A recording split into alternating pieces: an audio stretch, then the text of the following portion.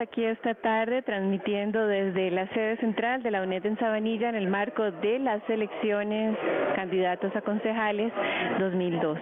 Eh, en esta ocasión vamos a conversar con Gustavo Solano. Él es un estudiante de 21 años que estudia ingeniería informática y nosotros queríamos preguntarle si él sabe cuáles son los requisitos para que los estudiantes eh, pudiesen estar empadronados y venir a votar.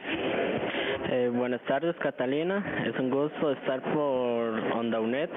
Eh, bueno, los requisitos para poder votar son tener 24 créditos aprobados en el plan de estudio de la carrera, estar matriculado en el segundo cuatrimestre de este año y, y también eh, estar empadronado por medio de internet o dentro del centro universitario que le corresponde para poder votar.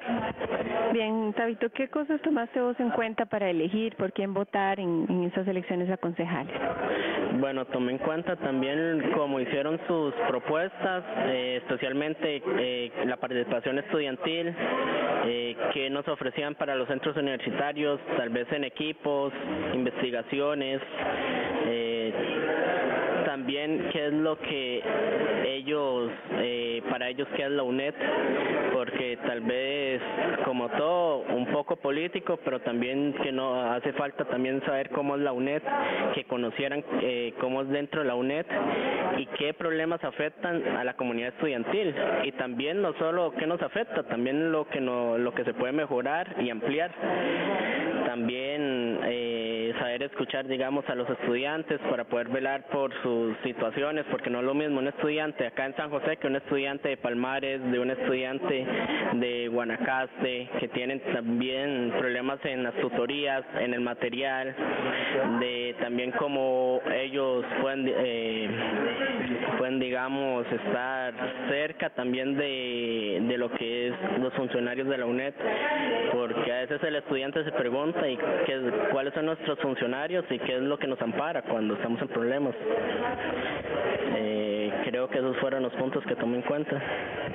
¿Cuánto tiempo tenés de, haber entrado a la universidad a estudiar? Hace tres años entré eh, a estudiar acá en la universidad. En este momento estoy terminando mis cursos en diplomado y prontamente estoy para poder graduarme. Ahora sigo con bachillerato.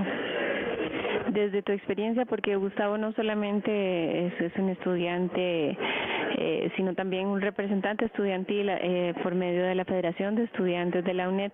Desde tu punto de vista, para el sector estudiantil, ¿cuáles son las prioridades que los candidatos, una vez ya accediendo al puesto de concejales, deberían tomar en cuenta?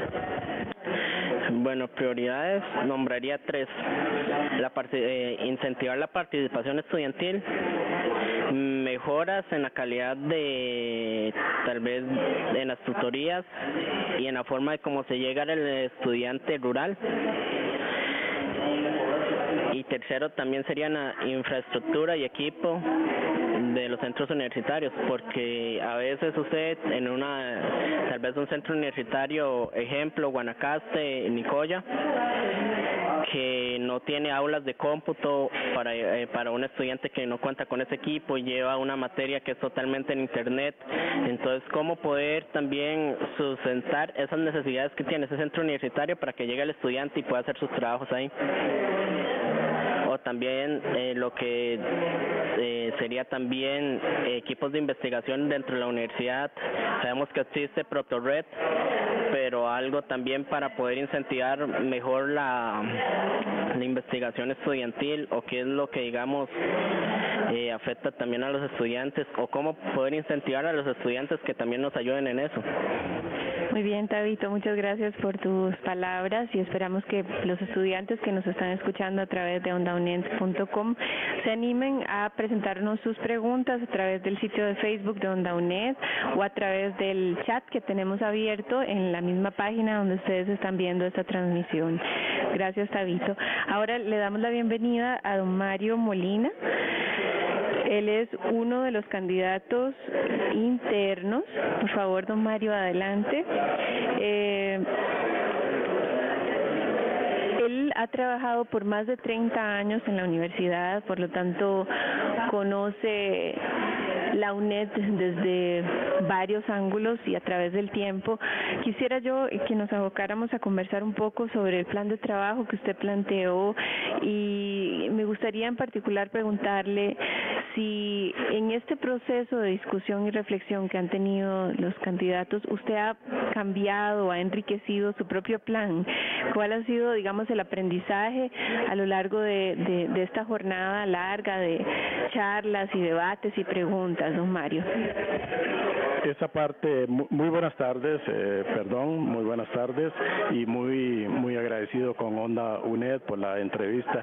Esa parte que usted acaba de indicar a mí me gustó mucho por lo siguiente, cuando yo empecé eh, a participar en esta campaña, uno empieza con cierta preocupación, ¿verdad?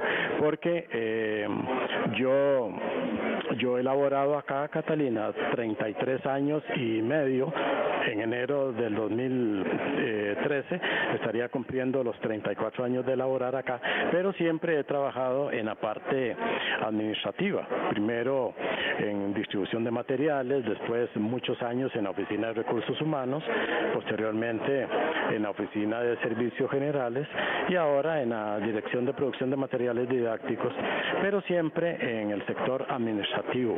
De ahí que este yo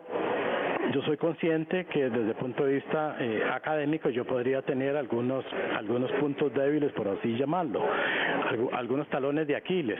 Y, y, sí, efectivamente, el plan de trabajo mío, eh, a medida que yo em, escuchaba a los otros eh, candidatos hablar, a, a, gentes con gran experiencia, este, como don Alfonso Salazar, doña Marlene Víquez, etcétera, este, mi visión eh, fue, pues, fue cambiando y se fue ampliando, de modo que ya eh, a mí luego me quedó muy, pero muy clara la situación eh, en cuanto a la planificación, en cuanto a la necesidad de apostarle a la planificación, apostarle a la autoevaluación como proceso de mejora continua, apostarle a la acreditación, a la este, al seguimiento que hay que darle eh, a los estudiantes, etcétera. De ahí que, mm, como bien lo dijo usted, eh, mi plan de trabajo eh, se fue ampliando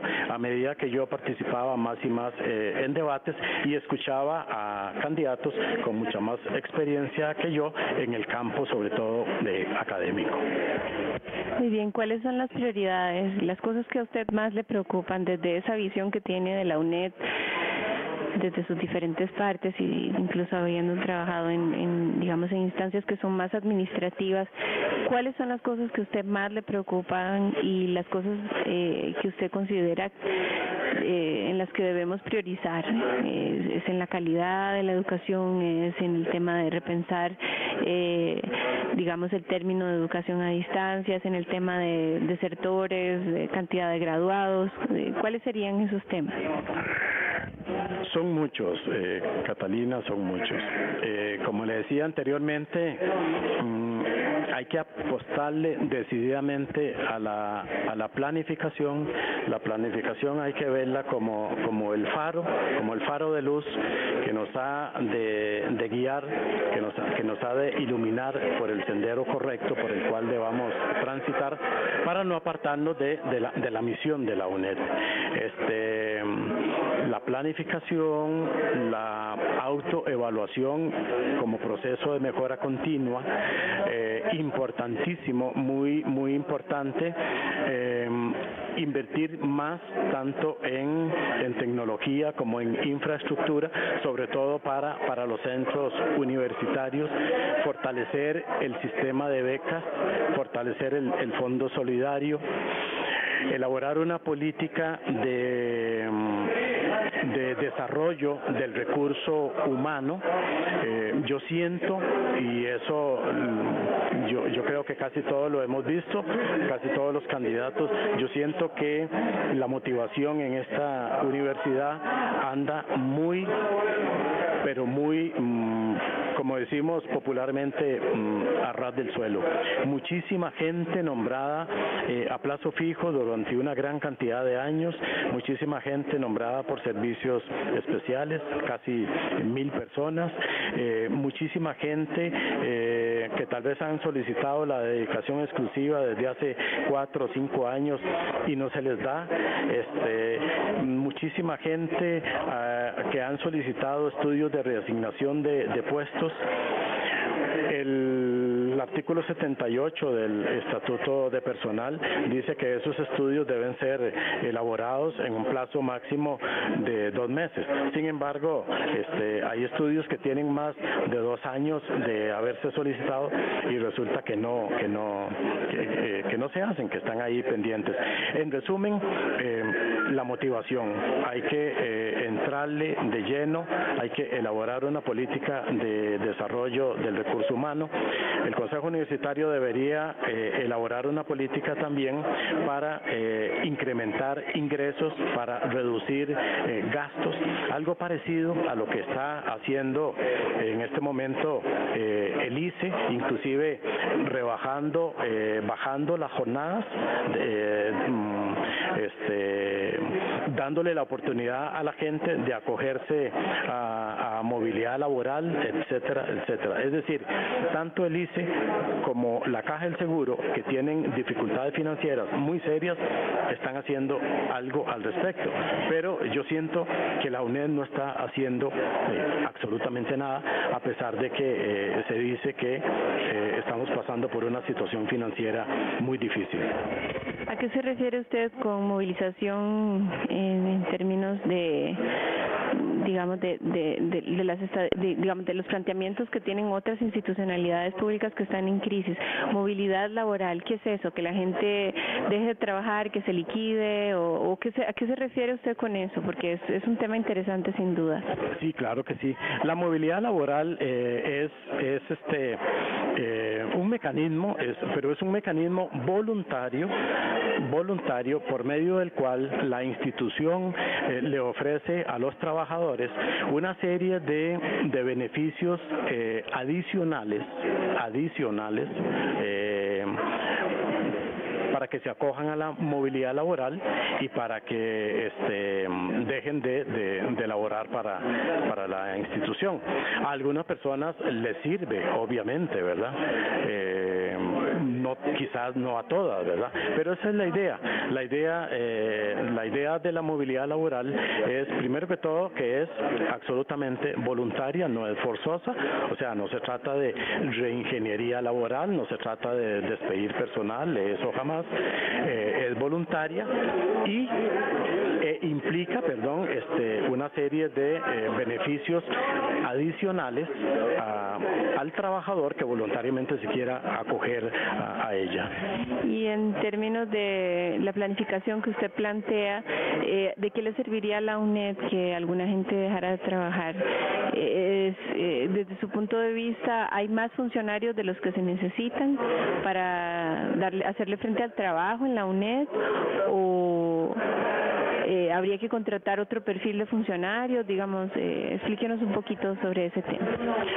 Bueno, ya el rector, don Luis Guillermo Carpio, este, indicó que, que sí, que aparentemente eh, hay mucha gente, hay gente en la UNED, pero repito, no se trata de ninguna manera de, de despedirlos, sino de ubicarlos correctamente y de llevar a cabo una serie de medidas para, para ver de qué forma no solo incrementamos los ingresos de la universidad, por ejemplo, mercadear más eh, nuestros productos, los libros que produce la editorial, por ejemplo, los eh, audiovisuales, etcétera, eh, y, y eh, reducir eh, gastos. Sí, no mucha gente habla del cómo, ¿verdad? Es, no puedo decir como todo el contexto ideal, pero este no es fácil hablar del cómo, de cómo ejecutar y qué decisiones tomar y qué implicarían estas decisiones. Eh, usted plantea entonces que esta podría ser una solución para reorganizar la, eh, digamos, el, la cantidad de recursos que se gastan en en la contratación de personal y demás. Tenemos una pregunta que nos llega a través de Facebook de José Carlos Campos que pregunta, sería bueno saber qué piensa usted sobre las organizaciones y participaciones estudiantiles. Por ejemplo, el ejemplo de Onda UNED. Eh, no entiendo muy bien la pregunta, pero parece que, ¿qué opina usted de las organizaciones y participaciones estudiantiles o de la organización y la participación estudiantil? Por ejemplo, con los estudiantes que trabajan en el equipo de Onda UNED. ¿Qué opino, qué opino sobre la, participación? Eh, la pregunta no me queda muy clara, no la tengo bien clara, pero por supuesto que, absolutamente eh, de acuerdo, por ejemplo, por supuesto que, me parece muy bien que participen en, en, en todas las esferas. Eh, la, que esté presente la, la, la participación eh, estudiantil. De hecho, eh, acá han estado, están en la asamblea representativa, que es la que modifica el estatuto orgánico, están en el consejo universitario, ¿verdad? Hay un representante de la Federación de Estudiantes y bienvenida sea, ¿verdad? La participación estudiantil porque recordemos, y esto es muy importante decirlo, en miles de veces eh, hemos escuchado decir en diversos discursos de diversas personas que el estudiante es la razón de ser de la universidad. Y obviamente que así es. El día que el día que no haya estudiantes en esta universidad, pues sí, tendríamos que irnos todos, ¿verdad? Para porque porque esto esto esto no se podría sostener sin sin los estudiantes.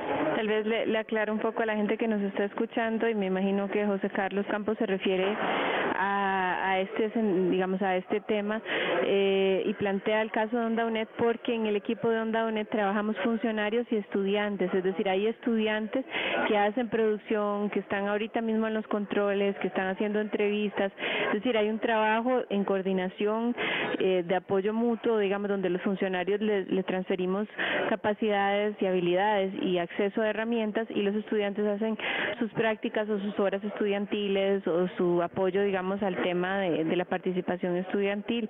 Ese es, me, me, imagino que José Carlos se refiere a eso. Sí, sí, excelente, excelente esa participación, esa, esa retroalimentación. Yo pienso que no solo eh, ellos aprenden de nosotros, sino que también nosotros eh, aprendemos de ellos, ¿verdad? Eh, excelente, bienvenida. Bueno, Mario, mucha suerte. Esperamos mañana estar transmitiendo también el conteo de votos y esta noche a las 7 de la noche cuando se cierren las urnas esperamos tener algunos resultados en torno a cuántos votantes tuvimos, cuánta ausencia o abstencionismo tuvimos en, en el voto de estas elecciones 2012 a concejales. Muchas gracias, don Mario. Ahora vamos a escuchar a don Jorge Camacho Jiménez. Él es un estudiante también y Geisel Castillo, otra estudiante, representante estudiantil, le va a hacer la entrevista. Así que adelante, Geisel, por favor.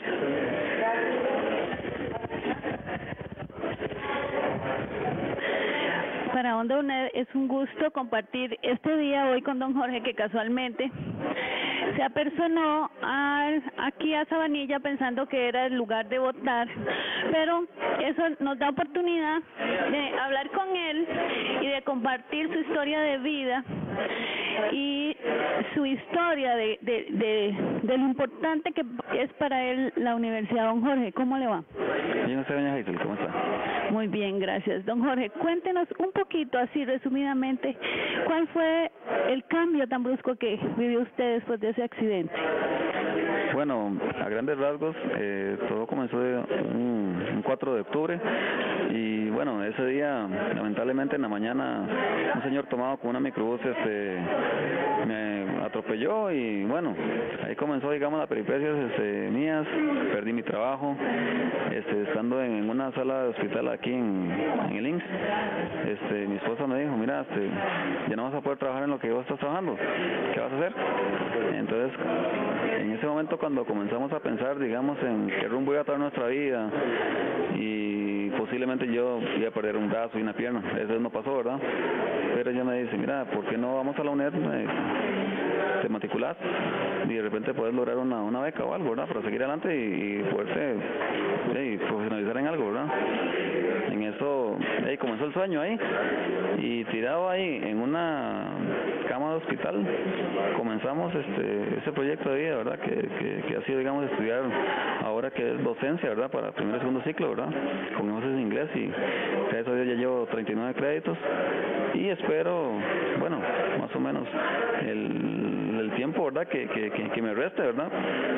Este, seguir trabajando, ¿verdad? Y ver materializado. Ese sueño, que es este ser profesional y, ser un, profesional más graduado de la UNED, ¿verdad? Que para mí ha sido una bendición, o sea, el, el, apoyo que yo he recibido aquí no lo he recibido en otra parte y creo que esta es una institución aparte de sólida, ¿verdad? Este, tiene muchísima credibilidad y lo otro que ellos también confían en el factor humano, ¿verdad? Porque, aquí cualquiera puede llegar, digamos, y pedir ayuda, pero realmente, digamos, cuando ven la gente sincerada y la gente trabajando, ¿verdad? Porque tampoco es que le van a dar ayuda a cualquiera nada más porque sí, pero cuando uno se esfuerza y uno se compromete, ¿verdad? A dar el 100% o más para salir adelante, este, es una institución sí, sí da oportunidades, le la, la mano, ¿verdad? Uno como estudiante, la verdad. Cuénteme, ¿qué lo motiva a usted a venir a votar un día hoy como hoy tan especial? Porque esta universidad es una de las que tiene mayor población estudiantil y a pesar de eso, muchos crean la distancia y no se personan a votar. Dígame, usted que ve todo eso bueno que tiene nuestra universidad, ¿qué lo motiva a venir a votar? Bueno, aparte que me siento, digamos, muy comprometido, ¿verdad? Como estudiante, creo que nosotros tenemos la oportunidad de hacer valer nuestra voz, ¿verdad? Como estudiantes, sé que no hay instituciones perfectas, pero lo que a mí me llama la atención es la posibilidad de uno poder, digamos, poner, ¿verdad? Brindar ese granito de arena para que la institución se vuelva, digamos, más fuerte y si tiene debilidades, ¿verdad? Uno escoger, digamos, a la persona idónea o que uno crea, ¿verdad? Que, que se tienen esa visión, esa mm, esperanza, ¿verdad? que creo que todo estudiante UNED, o sea, tenemos, que ver nuestra institución fortalecida, ¿verdad? A pesar de que a veces nos sentimos un poquito solitos, ¿verdad? Eh, por distintas, digamos, circunstancias, pero no es porque la, la, digamos, la institución está lejos de nosotros, sino porque a veces a uno le da como, como miedillo, digamos, el, socializar, interactuar con otros estudiantes, pero en mi caso muy específico, ¿verdad? Que, que, he tenido posibilidades de estar con, con otros, ¿verdad? Estudiantes, eh, estudiando y compartiendo, ¿verdad? Pensamientos. Mira, me parece que para mí lo primordial es el, el, el, ayudar, ¿verdad? Y el, como te decía, es, ponerse ese granito de arena, ¿verdad? Que es para, para ver más fortalecida, digamos, nuestra institución y ver que, digamos, la administración, ¿verdad? Que venga, se preocupe por el bienestar estudiantil, ¿verdad? Y básicamente porque nosotros somos los, bueno, somos los, los, profesionales del mañana, somos los, costarricenses y las costarricenses, ¿verdad? También que tenemos, digamos, que tomar la decisión de mejorar, ¿verdad? Y formarnos mejor y qué más que, que la UNED, ¿verdad? Como, como ese medio, ¿verdad? Importantísimo. Cuéntele a nuestra población oyente ¿Cuáles beneficios como persona con discapacidad ha tenido usted en nuestra universidad? Porque muchas personas con discapacidad dicen, no puedo estudiar. ¿Cómo hago yo para estudiar? Cuéntenos usted que lo ha vivido. ¿Cuáles son los beneficios que usted ha obtenido? Bueno, aparte de la beca, ¿verdad? Que, tuvimos, ¿verdad? Que ayuda socioeconómica habido, digamos, una serie de situaciones. Por ejemplo, cuando yo comencé a estudiar, este, tenía, digamos, la posibilidad, a pesar de que no tenía, por ejemplo, este, la facilidad para movilizarme en su momento, ¿verdad? Porque estaba encamado, este, había una posibilidad, digamos, de que enviasen eh, un profesional, ¿verdad? Al centro hospitalario donde yo estaba, ¿verdad? Lógicamente con un permiso, un proceso ahí, para que yo, digamos, hiciera los exámenes, digamos, ordinarios o, comprensivos o, los que tuviese, ¿verdad? Y también me daban, digamos, la posibilidad de poder, digamos, este, entregar, de, o sea, por, por, por, internet, qué sé yo, ¿verdad? Trabajos y bueno, eso en, el área, digamos, este... Y las tutorías, ¿verdad? Que también este, había, digamos, por ejemplo, situaciones, por ejemplo, de, de ciertas videoconferencias, ¿verdad? Que me enviaban a mí, o, digamos, básicamente era por internet, ¿verdad? Pero tenía muchas facilidades, ¿verdad? Que yo como discapacitado, ¿verdad? En ese momento, que, que estaba totalmente inmovilizado, para mí fue algo genial porque en ninguna universidad que yo hice consultas y todo lo demás, ¿verdad? Existe este tipo, digamos, de, de ¿cómo se llama? tratamiento especial para, para estudiantes, digamos, con ese tipo de problemática, ¿verdad? Como era la mía en ese momento, ¿verdad? Ahora es, es un poco más manejable, ¿verdad? Porque ya puedo movilizarme solo. Pero para mí las oportunidades como discapacitado han sido geniales y la verdad que no tengo quejas, estoy muy satisfecho y, yo sí creo, ¿verdad?, en que la gente, digamos, que me escucha y tal vez si tiene discapacidad dice yo no puedo, que, que, venga y que busque asesoría, porque aquí en la NET sí hay respuestas para, ese, para esa persona con discapacidad, aunque sea no vidente, aunque sea con problemas, digamos, de, de, oído, o sea, con cualquier discapacidad que tenga, ¿verdad?, que, que se, o sea, que, que se arrime aquí, ¿verdad?, que, llegue y haga consultas y, y sí, realmente sí se puede. Porque sí se puede, sí se puede salir adelante. Quiero agradecer mucho todos sus comentarios y también que le diga, aparte de, de todo esto, cuáles fueron las entidades que usted contactó para recibir esta ayuda, porque también la gente obvia eso, la gente no sabe que, que la UNED cuenta con muchos servicios Sí, bueno, el primer contacto que, que, hubo, ¿verdad? Fue con la oficina de atención estudiantil, ¿verdad? Este, ellos y a través de eh, una señorita que ahorita se me escapa el nombre, creo que era doña Silvia Barbenechea, creo que era el, el, apellido de ella. Doña Silvia fue el primer contacto y ella, digamos, en su momento, todo, todo, todo, todo, digamos, el o sea, fue quien me explicó, ¿verdad?, cuáles eran los pasos a seguir. Después estuvo, bueno, la, la entrevista, ¿verdad?, con doña Hazel, ¿verdad?, la encargada de, becas, ¿verdad?, porque también cuando vine por primera vez este, me traían en silla de ruedas, ¿verdad?, y ahí se dio, digamos, el, el ¿cómo se llama?, el conocimiento, ¿verdad?, y la verdad que, bueno, yo espero que esto es como, como que sea, digamos, un para que la gente digamos, se anime, ¿verdad? Para que digamos, la gente con discapacidad venga y al igual que yo, ¿verdad? Tenga esa gran oportunidad que es estudiar y que realmente le ponga ganas a pesar de discapacidades que tengan, no, hay, o sea, le pueden decir que no en cualquier parte, pero aquí aquí no le van a decir que no, y aquí van a buscar, digamos, siempre una asesoría, eh, un trato muy humano, ¿verdad? Un trato muy especial y, la verdad, un trato respetuoso, como válido que es uno, ¿no? Quiero agradecerle mucho su participación y contarnos su historia de vida y fue un gusto para Onda UNED contar con su presencia. Muchísimas gracias, doña Hazel, y ahí estamos para servirle. También queremos agradecer el apoyo de los estudiantes unedcr.org que han estado aquí con nosotros acompañándonos en este día. Muchísimas gracias por estar con nosotros. ¿Cómo se llama la niña? Tami. ¿Estás orgullosa de tu papito, Tami? Sí. Bueno, muchísimas gracias, fue un gusto. Ahora contamos con la presencia de doña Marlene Víquez, que va a ser entrevistada por nuestra compañera Catalina Montero.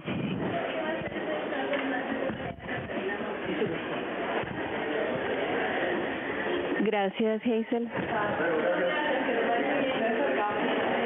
Estamos aquí divirtiéndonos con los y las entrevistadas en esta tarde de conversación en la que hemos tenido la posibilidad de conversar con algunos de los candidatos, con votantes, estudiantes y funcionarios de la UNED.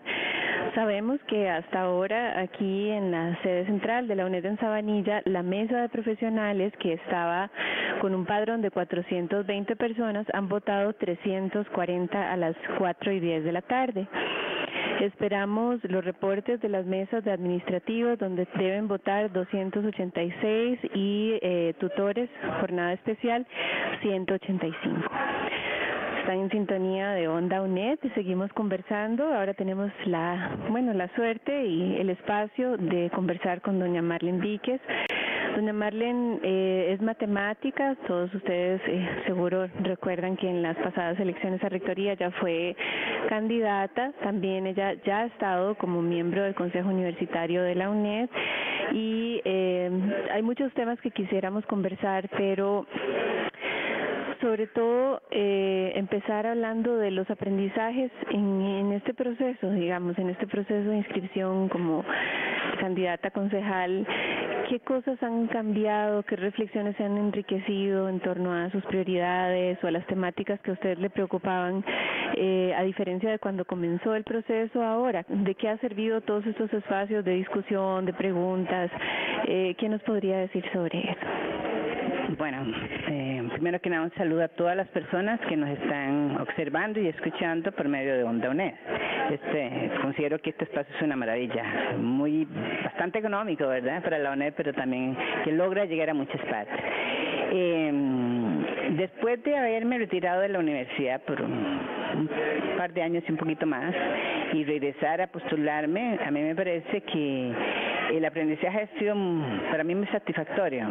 Primero porque me hizo volver a retomar y a, darme cuenta que eh, esta servidora cree definitivamente en la UNED y en el proyecto educativo de la UNED y que eh, cuando las giras que hemos hecho organizadas por el tribunal o algunas que logré hacer de manera independiente, me doy cuenta de que la UNED es una de las universidades que debemos fortalecer porque es la esperanza que tienen muchas mujeres y varones para poder estudiar.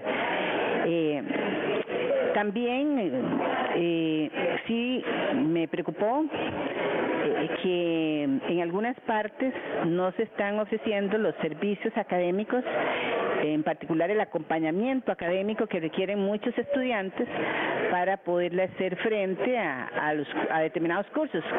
Pienso que tal vez los de que tienen mayor nivel mayor nivel de dificultad.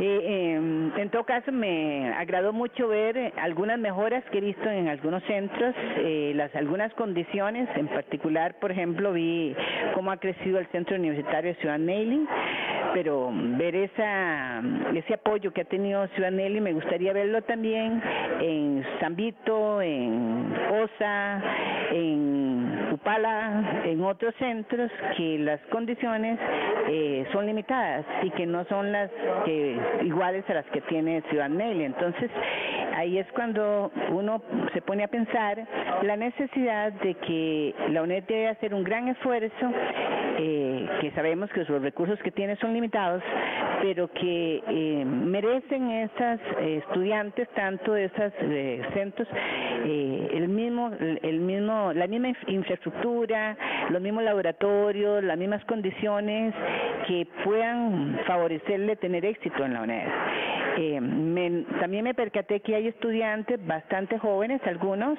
y también otros menos jóvenes, ¿verdad? Mujeres. Entonces hay una diversidad donde algunos consideran que eh, casi la UNED toda debería ser en cursos en línea.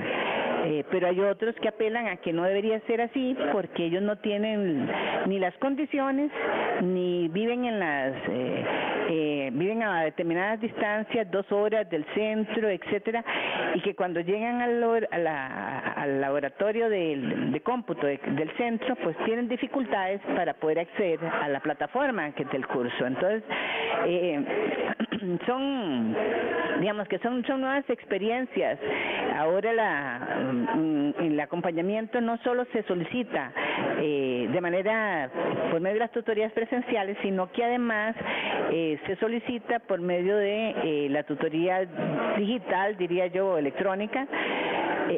pero que hay una diversidad de, de situaciones que se generaron, o sea, como que hay más retos para la UNED, porque debe también eh, brindarles las condiciones a los estudiantes para que puedan acceder a esas nuevas eh, tecnologías de la información y la comunicación. Por un lado, me, parece muy positivo para cerrar la brecha que existe en Costa Rica con el uso de las nuevas tecnologías, pero por otro lado, también me parece que eh, debemos ser cuidadosos como lo como lo hizo mm, en el tercer congreso como una moción donde se dice que deben utilizarse paulatinamente, pero garantizando que todos los estudiantes tienen acceso a esos recursos, ¿verdad? Bien, ahora que usted menciona los congresos universitarios y la instrumentalización o digamos el aprovechamiento de la experiencia de, estar en contacto con las comunidades y los centros universitarios, eh, usted plantea como preocupación como posibilitar una igualdad de recursos en sentido de, de los diferentes, los 37 centros universitarios y por otro lado la reflexión en torno a cómo debería ser una educación a distancia en, en un contexto donde las tecnologías pueden ocupar un lugar importante, pero donde la presencialidad en las tutorías también tiene un lugar que habría que revisar. ¿Qué otras preocupaciones o prioridades eh, desde su reflexión de, haber trabajado en la UNED y de haber estado ya en, el Consejo Universitario, eh, plantearía usted como, como las que quisiera eh, apoyar que se reflexionen, apoyar que se tomen decisiones, digamos, aparte de estas dos que mencionó que son cruciales desde mi punto de vista? Em, bueno, yo soy una mujer que Inicié con la UNED desde el 79 cuando existía la dirección de centros académicos. Cuando digo esto, esto tiene un gran significado porque era la dirección de lo que hoy podríamos llamar los centros universitarios. Eh, con los procesos de cambio que se dieron en el año, en la década de los 80, eh, algunas transformaciones, eh, se dejaron de lado los centros académicos y hoy es denominados centros universitarios. Cuando volví al Consejo en el año 2000, el Consejo tomó una política importante de volver a retomar y a fortalecer lo que para mí es la cara visible de la UNED, pero sobre todo donde se muestra la excelencia académica de la UNED, que son los centros universitarios. O sea, si queremos hablar de excelencia académica, debemos garantizarnos qué es lo que observar o valorar, cuál es la dinámica, cuál es la gestión, cuál es la forma en que interactúa la universidad, cuál es esa interacción universidad-estudiante desde el centro universitario. Entonces, con esa pregunta suya, Catalina, lo que quiero decirle es que yo voy por la regionalización. Voy por regionalización curricular, voy por regionalización interuniversitaria, voy por la regionalización eh, de centros universitarios, voy porque se cumple el acuerdo 1504 del año 2001, que es potenciar a los centros como impulsadores de desarrollo locales y regionales. Y con el acuerdo que tomamos en el 2010, que me tocó liderar también desde el Consejo Universitario para mm, fortalecer lo que era la desconcentración y la delegación de algunas funciones en los centros universitarios, nuevamente mi mayor esfuerzo sería eh, desempolvar esos acuerdos, esas políticas que están muy claras, que no requieren, desde mi punto de vista, no requieren tantos recursos, sino voluntad política y sobre todo menos resistencia de parte de la de algunos funcionarios, funcionarias, porque la UNED en este momento para que pueda salir adelante y pueda darle la respuesta pertinente a la sociedad costarricense, requiere hacer un cambio de gestión. Y eso significa desdoblarse, como lo he dicho, eh, ir hacia los centros universitarios, canalizar todos sus esfuerzos hacia los centros universitarios, porque casi estoy segura, como lo he dicho N veces, si van a valorar la pertinencia de la UNED, lo que van a valorar es el impacto de la UNED en el desarrollo de, de las regiones locales y regionales y en ese sentido, pues entonces ahí vamos a ver si realmente cada centro universitario o cada subsede ha tenido la proyección que se esperaba de ellos. Y creo que ahí es donde está la misión social de la UNED y es el es lo que la hace diferente de todas las demás universidades. El, el poder llegar a las poblaciones más vulnerables del país, pero con las eh, condiciones que ellos merecen, porque al final de cuentas esta es una universidad pública y financiada por el pueblo costarricense. Bien, usted mencionaba la resistencia al cambio como uno de los principales obstáculos y precisamente esa es una pregunta que teníamos para usted. Desde su experiencia, eh, ¿cuáles serían digamos, los caminos para lograr que como conjunto, digamos, eh, podamos avanzar hacia un proyecto de universidad eh, que se replantee su estructura, su visión en términos de la centralización, digamos, que hay, o la centralización en San José, por ejemplo, eh, y en cuanto a servicios, o sea, digamos, renovación de pensamiento. Usted plantea la resistencia al cambio como un obstáculo. ¿Qué otros obstáculos encuentra usted que, tenemos que enfrentar en conjunto, no solo desde el, desde el Consejo Universitario, sino como funcionarios en los centros universitarios, como tutores, como administrativos, productores audiovisuales, etcétera? Eh, pienso que, el, la resistencia al cambio es natural. Cuando se habla de cambio, pues las personas se preocupan. El, el punto esencial es que el proyecto universidad que usted se refirió es un, un, un proyecto universidad que es coherente con la ley 6044, coherente con lo que establece el estatuto orgánico y que se ha construido colectivamente a través de los 35 años de existencia de la UNED. Entonces hay documentos muy claros que son las mociones del segundo y del tercer Congreso que dicen con claridad cuál es el proyecto de, de universidad que se quiere. La resistencia se da porque, bueno, pienso que algunas personas podrían temer que se les va a quitar algunas funciones, algunas dependencias, pero en este momento eh, yo creo que con una buena eh, sistema de, de infraestructura tecnológica, eh, lo que se trata es de trabajar más en redes, en trabajo colaborativo, eh, dentro de una administración de la confianza y no de la desconfianza, eh, visualizando cuál es el contexto actual en que está inmersa la UNED y la educación pública en general, que es bastante preocupante, eh, creo que es un asunto de sobrevivencia. Entonces, mi intención de colaborar en esta ocasión es tratar de, de, que la gente sienta confianza, de que no están descubriendo el agua tibia, que ya hay muchas cosas que se han hecho, lo que se trata es de soltar riendas, ¿verdad? Darnos la oportunidad y darle la oportunidad a los estudiantes de que tengan en esas experiencias también y sobre todo de que eh, yo casi estoy segura de que si se logran establecer esas redes de colaboración, esas nuevas formas de gestión académica, administrativa, de vía estudiantil, etcétera, eh, al final eh, la UNED es una sola. Es una universidad que eh, no son unecitas en los centros, sino que es una sola, pero que, que se manifiesta en su forma de ser y en, en su coherencia con la misión social en cada centro universitario. Entonces, sería más tratar de conciliar y establecer, establecer esos lazos de confianza y esos puentes para que podamos dar el paso cualitativo. Me informan eh, el equipo de producción que los estudiantes quieren saber cuál es su visión en torno al tema de la participación estudiantil, eh, no solo, digamos, en cuanto al fortalecimiento a través del sitio estudiantescr.org, nos preguntan eh, cómo considera usted que se puede acercar la universidad más a los estudiantes. Eh, bueno, la forma de que se puede vincular más la universidad con los estudiantes es a través de sus tres actividades sustantivas, que es la investigación, la acción social y la docencia.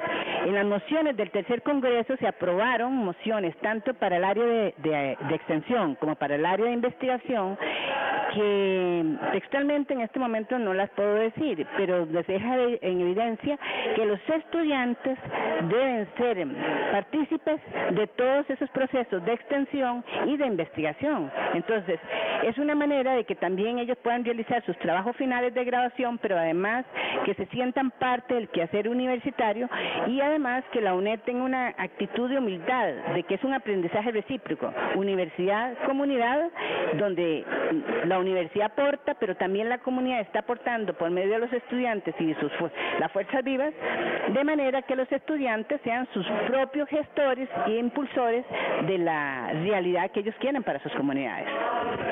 Bien, para cerrar, eh, queríamos preguntarle qué opina usted sobre el tema de los vínculos entre funcionarios y estudiantes. Eh, nosotros realizamos un taller con estudiantes de cara, digamos, a estos procesos de tomas de decisión y vinculación con los estudiantes y mucho de lo que ellos nos plantearon fue que ellos sienten que los funcionarios les tienen como temor o mucha distancia.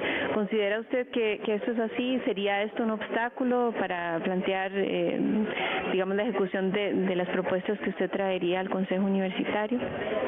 Si en mí estuviera, si en mí estuviera tomar una decisión, pero como un consejo universitario es un órgano colegiado, yo diría que una de las condiciones básicas para ser funcionario, funcionario en la UNED, sea una pasantía en alguna de las regiones eh, en procesos de matrícula, incluido de exámenes, en procesos de graduación, en dar tutorías, etcétera. Sé que algunas compañeras y compañeros lo hacen, pero que es bueno que, eh, que los compañeros de la sede Sabanilla eh, puedan trasladarse a, observar con sus propios ojos quiénes son realmente nuestros estudiantes, quiénes son realmente esas mujeres y esos varones que están optando por la UNED, tanto de, programas de extensión como de programas de investigación o de, docencia, de manera que comprendan que en realidad este, todos somos universidad y que no hay una diferencia, esa, esa distancia eh, no debería existir. ¿Me explico? O sea, eh, la UNED no son los edificios, no es la infraestructura. Una universidad es, una, es un proyecto colectivo, ideológico, de pensamiento que comparten seres humanos de carne y hueso y en esto están los funcionarios, las funcionarias, los estudiantes, las autoridades universitarias. Ese es el proyecto que, que es lo que eh, interesa más. Es un, un proyecto ideológico que responde a una misión social específica y un compromiso ético con la sociedad. Bien, se nos fue el tiempo. Realmente fue muy agradable esta conversación. Vamos a, darle un pase a nuestra productora Diana Walkenford. Eh, en este momento ella va a entrevistar a José Joaquín Jiménez, que es un candidato interno que hoy está aquí, como el resto de candidatos, están abajo, en, digamos, en la sala recibiendo a las personas que vienen a votar, que cada vez eh, vienen menos gente, entre más tarde se hace, sin embargo, todavía las mesas no se cierran hasta las 7 de la noche. Ustedes están en sintonía de ondaunet.com, claro. Bueno, aprovecho Catalina para agradecerle y sobre todo agradecerle por medio de Onda UNED a todos y todas los funcionarios, estudiantes que nos están observando y sobre todo a todos los votantes que han hecho que hoy esta jornada eh, tenga el mérito que debe tener y que la, la que más se beneficia estos procesos eh, de, electorales es la misma universidad porque permite reflexionar sobre el presente y el futuro de la UNED. Muchas gracias.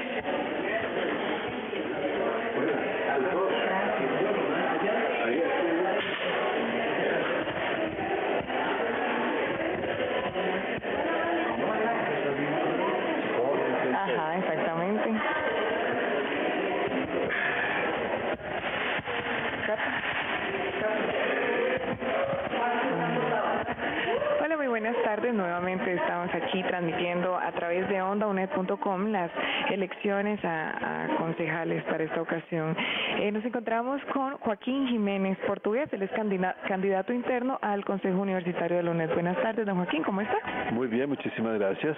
Encantado de estar con ustedes, la verdad que sí. Muy bien, muchas gracias. Bueno, con Joaquín vamos a, a conversar un poquito sobre cómo la UNED ha, aportado al desarrollo del país. Bueno, eso es una pregunta interesante en el sentido de que eh, se puede afirmar que la universidad que Costa Rica sería otra Costa Rica sin esta universidad. Esta universidad realmente impactó todo el territorio nacional, impactó toda la población costarricense y se han hecho logros importantes al tener en este momento por lo menos más de 34 centros universitarios distribuidos en todo el territorio nacional. 35 años de llevar eh, educación y en una primera etapa la universidad lo que hacía era prácticamente una transmisión de docencia. La UNED nace como una universidad en donde lo que se pretendía era llevar formación de carreras universitarias por todo el país para cubrir poblaciones desprotegidas, sobre todo poblaciones geográficamente desprotegidas. Hay que acordarse que en los años 70, cuando surgen la Universidad Nacional y el Instituto Tecnológico, mediados y finales de los 70, la UNED surge en el 77, ya estaba la Universidad de Costa Rica. Entonces, cuando surgen estas tres universidades, el país tenía una demanda muy muy alta de educación superior porque en los periodos digamos en los años 60 eh, los gobiernos de liberación nacional en aquel entonces fundamentalmente el último gobierno de José Figueres y el de Daniel Oduber eh, desarrollaron mucho la secundaria en el país. Si uno revisa la creación de muchos colegios en este país, todos son de esa época, finales de los 50 y décadas de los 60. Entonces, en los 70 hay una explosión, digamos, de bachilleres de secundaria en todo el país y las universidades que estaban, la Universidad de Costa Rica, luego transforman a la Escuela Normal en Universidad Nacional y el Instituto Tecnológico, que nace después también, no daban abasto. Entonces hay una presión muy fuerte en todo el territorio nacional de muchachos y muchachas que terminaban la secundaria pero no tenían a dónde continuar. Entonces ahí el, gobierno en los últimos días, digamos, de la administración Oduber, don Fernando Bolio propone la creación de una universidad a distancia que fuera capaz de desarrollar un sistema de abordaje, de, darle oportunidades a toda esa población que estaba distribuida en todo el país y que requería de eh, una oportunidad universitaria, una carrera universitaria. Entonces se, se cumplían tres objetivos básicamente. Uno era formar gente en las zonas donde estaban, no eh, evitar las migraciones campo-ciudad, ese era, ese era un objetivo. El segundo objetivo era poder este, eh, formar en la zona, o sea, que, que provocar desarrollo en las zonas, por ejemplo, la UNED desde que nace, mm, por ejemplo, nace en, localidades como San Vito, como Jicaral, por citar dos, dos pequeñas poblaciones. Entonces, el que en una pequeña población de esas eh, hayan eh, 80, 100 muchachos y muchachas formándose a nivel universitario, eso genera un impacto muy fuerte en esa zona.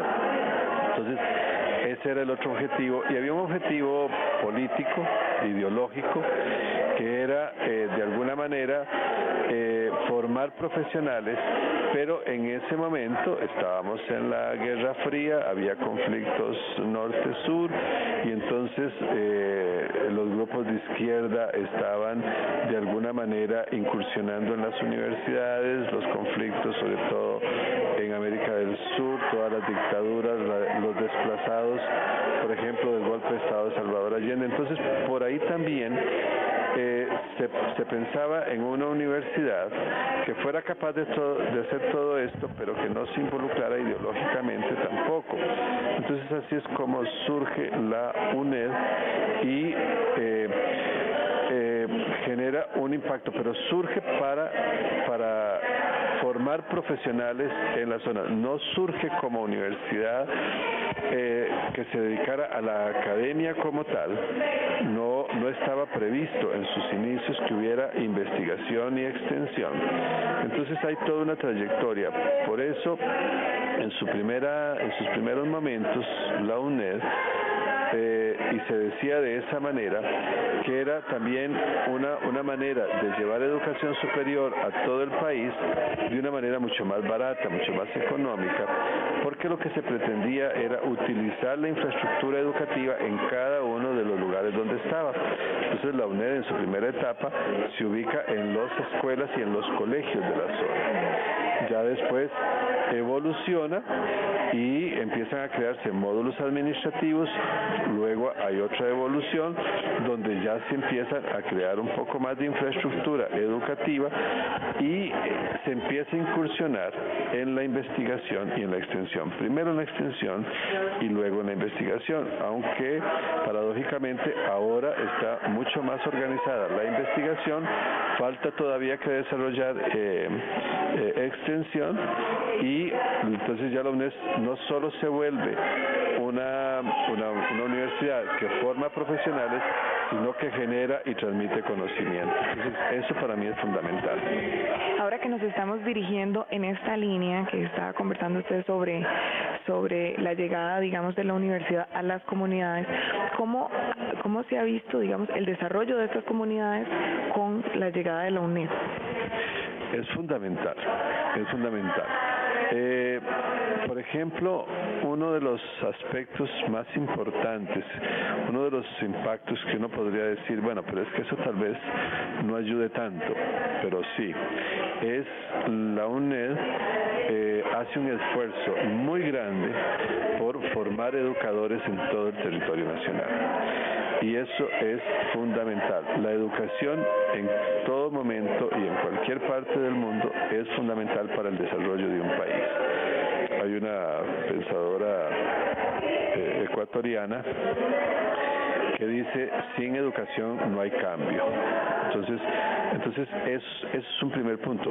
Por supuesto que también se impacta en carreras eh, tecnológicas, que sé yo, la parte agropecuaria, este, la parte de administración, el área de ciencias exactas, etcétera, que también va a impactar a las comunidades, pero en su primera, en sus primeras dos décadas básicamente, la UNED impacta muchísimo en el área de educación, formando educadores en todo el territorio nacional y eh, en, en, el, en el sistema educativo nuestro, por lo menos en la historia de la UNED, hubo un par de crisis de educadores y a la UNED le correspondió, a través de planes de emergencia, formar los maestros que el país de alguna manera estaba necesitando. Entonces, eso es un impacto muy fuerte, porque el, el educador educa, forma y crea desarrollo. Claro, y está, está generando esa base de profesionales hacia la comunidad, ¿verdad? Que se queden ahí y no, y no emigren a las ciudades. ¿Cómo podríamos hablar del estudiante de la UNED eh, de una manera integral, tanto del que está en el CU como los que vienen a San José? ¿Cómo podríamos verlo desde una manera integral? Bueno, ese es un dato muy interesante eh, y hay que volver, hay, hay que retrotraerse de nuevo a la creación de la UNED. La UNED se plantea como un sistema de educación a distancia donde el estudiante no iba a tener contacto ni con la universidad, de alguna manera no iba a tener un contacto importante y no iba a interactuar entre sí, o sea, no iba a haber interacción entre los estudiantes. Entonces, este, si usted ve el nacimiento de las otras universidades y su evolución, en todos los casos hay un área de vida estudiantil claramente definida. Entonces, aquí en esta universidad no se define claramente área de vida estudiantil, se define al principio, cuando se crea la universidad, una dirección de asuntos estudiantiles, pero con una connotación meramente administrativa, para administrar el expediente del estudiante, cosas de ese tipo. Pero tenemos en nuestro país la gran suerte de que al existir un sistema de coordinación entre las universidades, al existir CONARE, entonces el, eh, y al albergarse ahí, en, CONARE hay un, se llama el, el Consejo de Vicerectores de Vida Estudiantil, entonces la UNED ha participado desde siempre en ese Consejo de Vicerrectores y eso entonces ha permitido ir captando experiencias de los otros de las otras universidades para irlas aplicando en el desarrollo integral de la persona que es una responsabilidad de la universidad. Entonces se ha crecido muchísimo en eso, o sea, eh, se ha ido evolucionando de una área totalmente administrativa a tener programas de desarrollo como programas culturales, deportivos, recreativos, sistemas de atención socioeconómica, sistemas de orientación y atención psicoeducativa, este, eh, sistemas para atender poblaciones con necesidades educativas especiales, la población privada de libertad, poblaciones en el extranjero. Entonces ahí se ha hecho un desarrollo este, sumamente grande de lo que es el área de vida estudiantil. Todavía se sigue siendo una área administrativa, pero que la idea es que evolucione y esa es una de las propuestas que yo espero que, pronto se, se concluyan, de las que he trabajado mucho en mi paso por el Consejo Universitario, de crear una vicerrectoría de vida estudiantil. De eso me gustaría hablar, don Joaquín. Este, ¿Cómo ha sido su paso por el, por el Consejo Universitario y además cuál es la motivación a continuar con, con esta labor? Bueno, el paso ha sido muy positivo, por lo menos así lo veo yo. Yo no sé eh, qué, cuál, cuál va a ser el examen que, que, me, que me van a hacer el día de hoy. Este, y en todo este proceso electoral, pues he tenido mucho, mucho respaldo en reconocer una labor. El Consejo Universitario es, es un órgano colegiado, son nueve personas las que toman las principales decisiones a nivel político de la institución y hay que tener claro que eh, concejal fundamentalmente lo que tiene que tener es una buena línea de pensamiento hacia dónde debe de ir la institución. Entonces, esa es, digamos, una de las cosas eh, que por las que yo me he caracterizado, tener una, una claridad en ese sentido, este, eh, planteando proyectos, por ejemplo, proyectos sustantivos. Eh, el proyecto de desarrollo del área de vida estudiantil, por ejemplo, es uno. Un proyecto que planteé para fortalecer el sistema de becas a los estudiantes, ese es otro aspecto muy importante. Con la ayuda de toda el área de vida estudiantil hicimos un gran trabajo y lo sacamos adelante. Eh, hay un trabajo muy importante que se hizo para hacer un reglamento general de los estudiantes, un trabajo muy grande para fortalecer la vicerrectoría, para, no la vicerrectoría, para fortalecer la extensión y la investigación.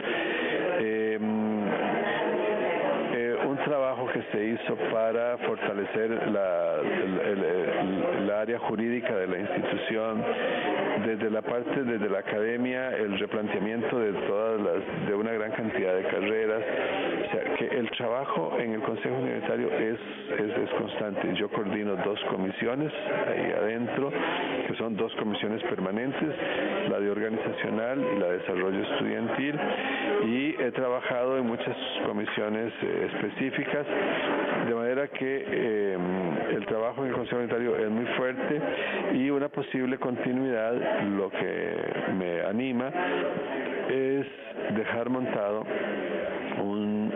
fortalecer la planificación en la institución, fortalecer la vicerrectoría de planificación, me parece que eso es muy importante.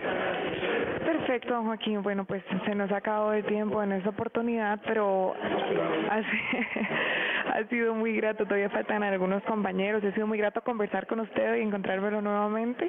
Y pues muchos éxitos le deseamos en esta en esta selección. Bueno, muchísimas gracias y vamos a ver qué, qué nos cuál es el resultado que se va a dar este parcialmente más tarde y probablemente de manera definitiva ya mañana. Perfecto, muchas gracias a usted. Muy bien, eh, conversaremos ahora con la con, con la um, candidata concejal Giselle Bolaños y la entrevista la realizará nuestra productora Giselle Castillo.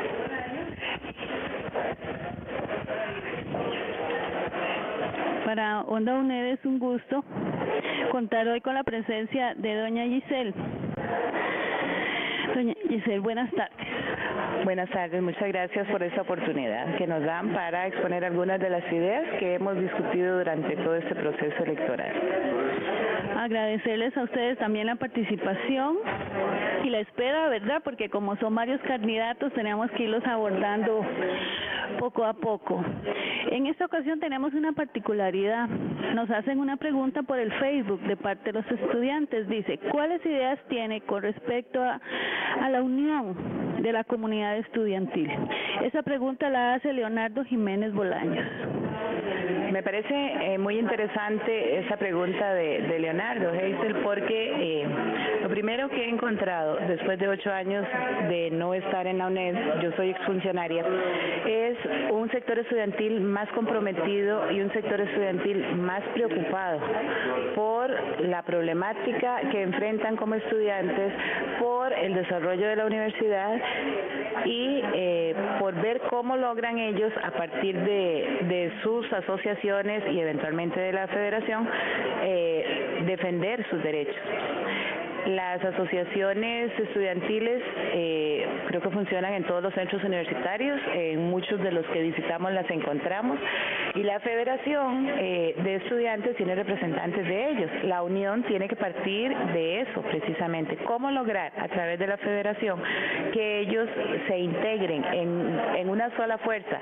Asociaciones independientes por sí mismas no van a lograr lo que pueden lograr. Todos juntos como en red, en una sola eh, amalgama, digamos, que viene a ser la federación. según su programa, ¿cuál es el aspecto más relevante y más importante para usted a corregir si, si es usted elegida? Para mí hay dos aspectos fundamentales dentro del accionar institucional. Eh, uno es, el que el Consejo Universitario determina las políticas institucionales con base en una realidad, pero esa realidad a veces eh, se traslapa. No se pueden dictar políticas si no hay un sustento económico, un sustento de infraestructura, un sustento de personal que le dé vida a esa política que se está dictando.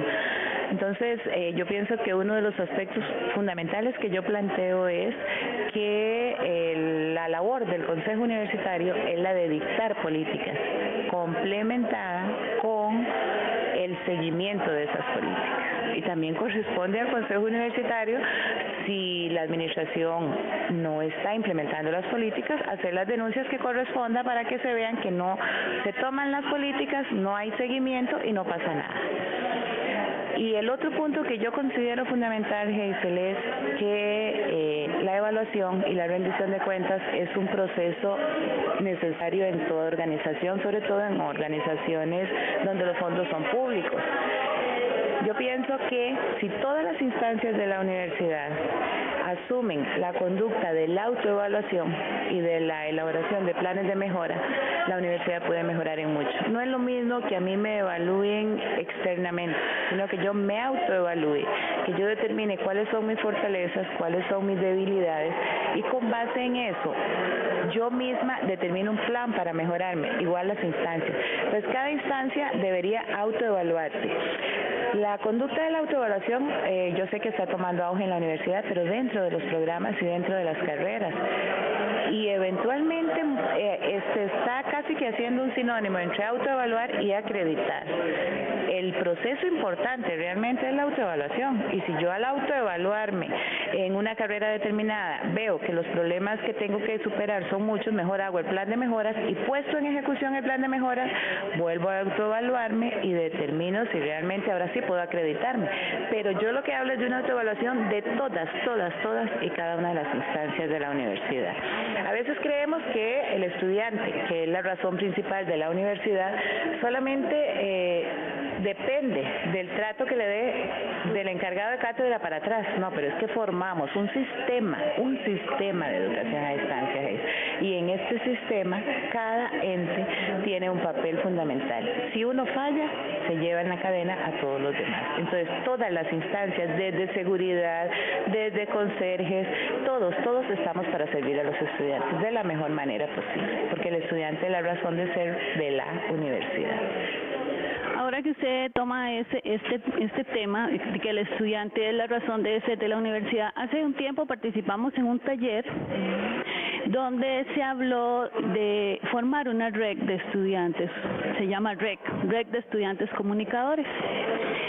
Y esto está apoyada por ProtoRed, la Federación de Estudiantes, Onda UNED. Y viera qué, qué casualidad, porque eh, un tema que salió a la luz el distanciamiento que existe entre los funcionarios de la universidad y los estudiantes. Y no sé, yo siento que, que eso, que se debe crear una conciencia, una conciencia más allá de un trabajo, de una labor, una conciencia de servicio, porque hay muchos estudiantes que no se pueden apersonar a sabanillas, como dice usted, o que viven en Tilarán y se les hace muy difícil hacer consultas. Y a pesar de que sea a distancia, se deben hacer modificaciones de, de esta forma de estudio. Usted me dice que hace ocho años que salió de la universidad. ¿Usted ha visto que haya hay un cambio en este aspecto o en qué otros aspectos ha observado esos cambios? Bueno, yo pienso que eh, hay una ausencia notable en la universidad de procesos de inducción para el personal nuevo No es lo mismo trabajar en una universidad presencial donde si la secretaria no tiene o no tiene información sobre un curso, el profesor me lo puede resolver en las clases presenciales. Aquí todos los funcionarios de la escuela, del centro académico, de la tesorería tienen que saber cuáles son los procesos que involucra el sistema de educación a distancia. Y eso requiere de un proceso de inducción fundamentado precisamente en las características del sistema. Con lo que hemos conversado, y conste que no es mi opinión porque yo no estoy adentro, pero pareciera que ese proceso de inducción se ha perdido. Y no hay una verdadera eh, sentido de pertenencia a la institución. Entonces, a mí me contrataron en la Universidad Estatal a distancia y tengo que hacer planilla, por ejemplo, y entonces yo me dedico a hacer la planilla, pero si en ese momento me tocó atender a un estudiante en ventanilla, yo no sé cuáles son las limitaciones de ese estudiante, no sé qué le está pasando, etcétera. Eso por un lado. Y por el otro, que eh, yo creo que los centros universitarios deberían desconcentrarse en ciertas labores que sean de tipo administrativo docente que les permitan dar ese servicio al estudiante. El estudiante no tiene por qué realizar un viaje para determinar si la nota de X eh, curso le salió o no le salió, si él había ganado el curso. Entonces, desde el centro universitario desconcentrado donde hay acceso a un expediente académico, le podemos decir, no, mire, eh, usted lo que tiene es un 6 de promedio o usted tiene un NSP y si él dice yo no estoy de acuerdo, pues el centro se pondrá en contacto con el encargado de la cátedra y desde aquí se le, se le arregla la situación. Pero muchas veces obligamos al estudiante a gastos innecesarios, Y si he sentido que en eso a veces el estudiante tiene razón, ha desmejorado el servicio porque la gente no tiene conciencia de trabajar en un sistema donde el estudiante meta de la UNED, tal y como está establecido en la misión, es el estudiante que por razones geográficas, económicas, etarias, no puede asistir a la educación presencial. Entonces estamos atendiendo sectores muy vulnerables de la población sin una adecuada inducción. ¿Qué aspecto de su plan que no ha mencionado le gustaría agregar o qué, qué ha observado usted ahora en este mes que, con, que ahora conversábamos? ¿Qué ha observado usted? ¿Hay algún tema en especial que, que sus otros colegas también propongan o todos tienen ideas diferentes? De, de, los, lo que se debe o se quiere mejorar dentro de la universidad? Yo pienso que la mayoría hemos coincidido eh, en excelencia académica. Eh, yo trabajaba trabajé muchísimo en evaluación en la universidad y yo no baso la excelencia académica únicamente en la acreditación. Algunos de los colegas sí están basando esa excelencia únicamente en acreditación, pero la excelencia académica comienza por un plan de mejora que tiene que ser automático. Eh, hemos visto eh, la necesidad de pertenencia y de pertinencia dentro de la institución, que la gente se sienta parte de la institución, que aprenda a quererla, que sepa que esa institución es de todos y que todos tenemos que aportar en la medida de nuestras posibilidades. Eh, eh planteé también la necesidad de eh, eh, reforzar los centros universitarios, no solo en infraestructura, sino en muchos servicios que son fundamentales, por ejemplo, un psicólogo, un trabajador social, pero no que roten, no, que cada centro, porque si yo como estudiante puedo llegar el jueves en la noche, porque no me, que no me digan, no, mire, hoy no está aquí, está en otro centro de una región cercana.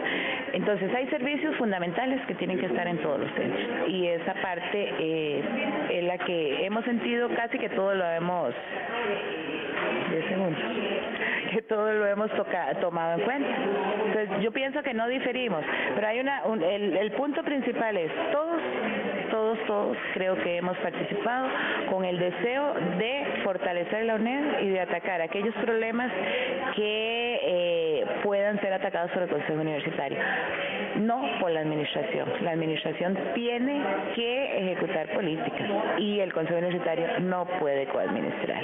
A veces, eh, por estar coadministrando, no pedimos cuentas. Si yo soy parte del problema, yo no voy a señalar cuál es el problema. Quiero agradecerle su participación y desearle mucha éxito en esas votaciones y en la experiencia que ha vivido. Muchísimas gracias, Hazel. Yo creo que ya el éxito fue haber participado en este proceso, haber reconocido la UNED nuevamente y el cariño, la, el entusiasmo, el calor con que la gente nos recibió en general y el respeto por nuestras posiciones ya para nosotros fue suficiente. Muchísimas gracias. Ahora tendremos la entrevista para otro de los otro de los interesados en, ser elegido como concejal, don Miguel Gutiérrez, que será entrevistado por Catalina Montero en esta tarde. Y agradecerles a todos los que se han querido ser elegidos por su participación.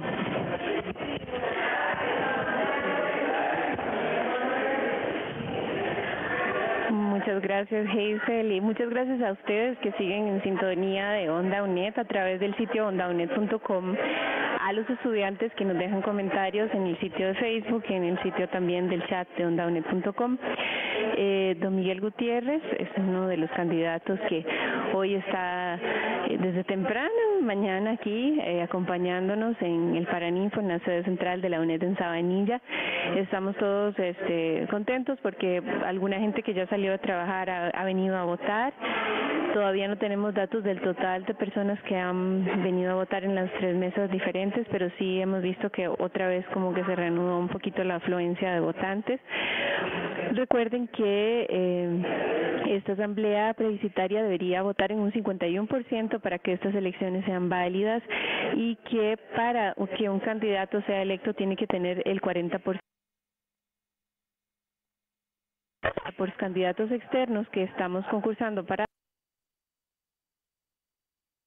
tendríamos que ir a segunda ronda, que sería el próximo viernes 20 de julio y el conteo de votos el 21. Así que estamos todos aquí en este proceso electoral muy contentos de haber tenido la posibilidad de conversar con los diferentes candidatos y don Miguel nos acompaña. Don Miguel es ingeniero civil él tiene también un doctorado en ciencias económicas. Él es exdirector de la Escuela de Administración de aquí de la UNED. También es expresidente de la Asociación de Profesionales de la UNED. Por lo tanto, tiene una experiencia que quisiera yo aprovechar en esta entrevista desde el quehacer de las escuelas. Y eh, quisiéramos que se refiriera un poco desde su experiencia como director y como funcionario de la UNED, cuáles serían los aspectos eh, a priorizar en términos del mejoramiento de la gestión académica, de los servicios, de digamos de la reflexión etcétera. Bueno, muy buenas tardes, muchísimas gracias por la invitación. Efectivamente, yo, yo estoy proponiendo mi nombre para como miembro interno de la, del Consejo Universitario. Eh, respecto a, a, su pregunta, fundamentalmente lo que yo creo es que debemos de empezar por eh, autoevaluarnos y luego acreditarnos. La acreditación hay que entender que eh, es, es, este, este simple acto de acreditarnos le proporciona a nuestros graduados eh, prioridad cuando están concursando en un empleo en el sector público. Si hay, digamos, este, tres administradores y de esos uno es de la UNED y la escuela está totalmente este, acreditada y que, y están concursando para un empleo en el gobierno, entonces ese es el que tiene prioridad. Las carreras acreditadas tienen prioridad, lo cual nos, este, nos indica que eh, debemos de buscar eso, no solamente por, por el empleo, sino porque eso nos da congruencia, nos da atinencia, o sea, que realmente lo que estemos dando nosotros en, en, las diferentes escuelas y las diferentes cátedras, en los diferentes cursos, eh, que estemos dando lo último y bien hecho, ¿verdad? Y eso eh, no, no, lo, nos revisa, digamos, lo acreditamos ante el Consejo Nacional de el SINAES, el Sistema Nacional de Acreditación de la Educación Superior. Entonces, la prioridad, así, número uno es la acreditación. No solamente porque nos da por ley esa prioridad, sino porque nos da congruencia y, nos da una seguridad con pares externos que vienen de otros países, Europa, por ejemplo, a nosotros nos tocó Europa y, México, que estamos a nivel de, universidades de primer, de primer mundo, fundamentalmente eso. Por otro lado, nosotros hemos optado en la Escuela de Administración por libros que estén globalizados, que también es importante, ¿verdad? Es importante en el sentido de que eh, tenemos casos eh, aplicaciones a, casos en empresas transnacionales que están totalmente globalizadas. Entonces eso eh, nos capacita para que nuestros estudiantes salgan, eh, digamos que con conocimientos a nivel internacional. Don Miguel, eh, ¿cuáles son las principales preocupaciones que tiene usted o cómo, digamos, cómo desde el Consejo Universitario usted se plantea aportar, digamos, hacia el avance en la mejora de la calidad, la acreditación? Es decir, cómo desde esa instancia uno se podría vincular con el quehacer cotidiano del resto de instancias de la universidad. Claro, mi propuesta es la calidad total. Es decir, que en todos los niveles de la universidad, en todas las áreas de la universidad, tengamos un sistema interactivo, reiterativo, de búsqueda permanente por la calidad y que sea una constante. Esa, esa forma de vida es una filosofía de vida, la deberíamos de tener empezando, por supuesto, en los niveles más altos, en el Consejo Universitario, en el Consejo de Rectoría, y para que eso se, se pueda lograr o se deba lograr, nosotros yo estoy proponiendo la separación de la, de la presidencia del Consejo Universitario de la Rectoría y la separación de la presidencia de eh, la Asamblea Universitaria Representativa de la Rectoría. Con esto nosotros podríamos tener eh, la capacidad de decirles a, a todos nuestros eh, compañeros que estamos buscando la calidad y que nosotros en un cierto momento vamos a ser evaluados tal como lo son como son evaluados los estudiantes. Si los estudiantes son evaluados dos o tres veces al, cuatrimestre y los profesores son evaluados y, y, y los encargados de cátedra y los encargados de carrera y los directores son evaluados, pues es muy conveniente que también los vicerrectores y los concejales sean evaluados. Bien, desde esta propuesta que usted tiene, estaría de alguna manera quitándole protagonismo o centralización o centralismo a la figura del rector. Eh, ¿Cuál es su perspectiva sobre cómo debería ser el trabajo universitario y cuál ha sido el trabajo o la propuesta, digamos, que hasta ahora hemos sostenido como universidad? ¿En qué se diferenciaría, digamos, lo que usted está proponiendo a lo que... Eh, se ha venido dando a lo largo de estos 33 años? Bueno, fundamentalmente en estos 33 años la, UNED era una universidad muchísimo más pequeña y tenía por tanto una importancia menor en el rango nacional.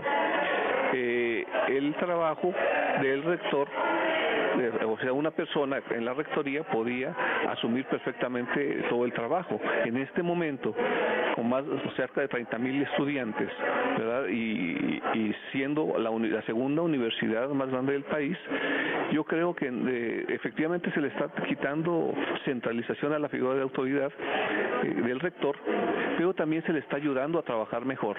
¿Por qué? Porque sencillamente va a tener más tiempo, va a tener más tiempo para pensar, va a tener más tiempo para analizar la labor de la universidad y sobre todo para buscar nuevos caminos. ¿Cuáles han sido sus aprendizajes en, este proceso de campaña, de diálogo con la comunidad? ¿Ha cambiado su perspectiva, la que traía cuando usted se inscribió como candidato, a la que tiene hoy, que ya estamos en las votaciones? Bueno, la perspectiva mía eh, no no cambió porque pues yo estaba, estaba, visitando como director constantemente los centros universitarios y eh, vivo en contacto con los estudiantes desde hace 20 años, o más, en, la UNED desde hace 20 años. Antes, pues yo tengo bastante tiempo más en otros países incluso de contacto con los estudiantes.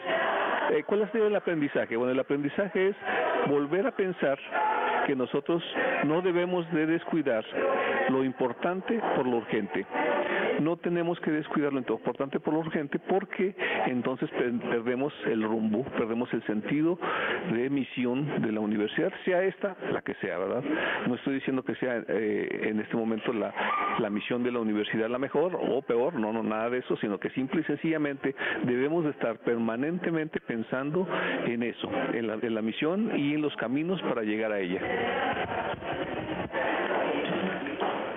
¿Cómo ha visto la jornada, la cantidad de personas que han venido? ¿Cómo se ha sentido el día de hoy, eh, desde la mañana que ha estado aquí? Eh, ¿Qué tipo de comentarios hace la gente? ¿Qué espera la gente? ¿Qué expectativas siente usted que hay en torno a su posible representación en el Consejo Universitario? Bueno, pues yo estoy muy contento de, tanta participación. Me dijeron que a eso de la una de la tarde ya alcanzamos el 51% y por tanto las, las, las elecciones sean válidas. Eh, lo que respecta a mí específicamente, que me, me, siento contento porque yo expresé lo que lo que debo de decir.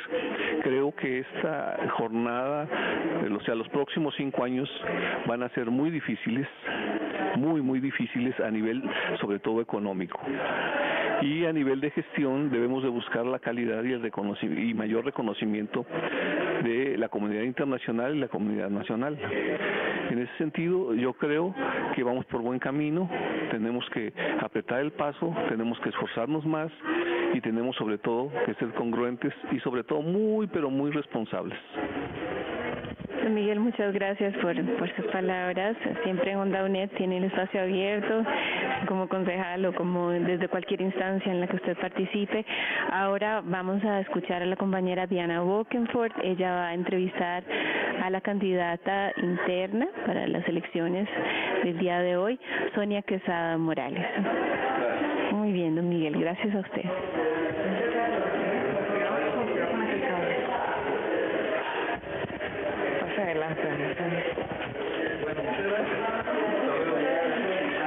Muy buenas tardes, nuevamente estamos aquí transmitiendo a través de ondaunet.com este, las elecciones a, concejales para este periodo. Ahora en este momento me encuentro con, con la candidata miembro interno, eh, Sonia Quesada Morales. Buenas tardes, Sonia, ¿cómo estás? Buenas tardes, muy bien.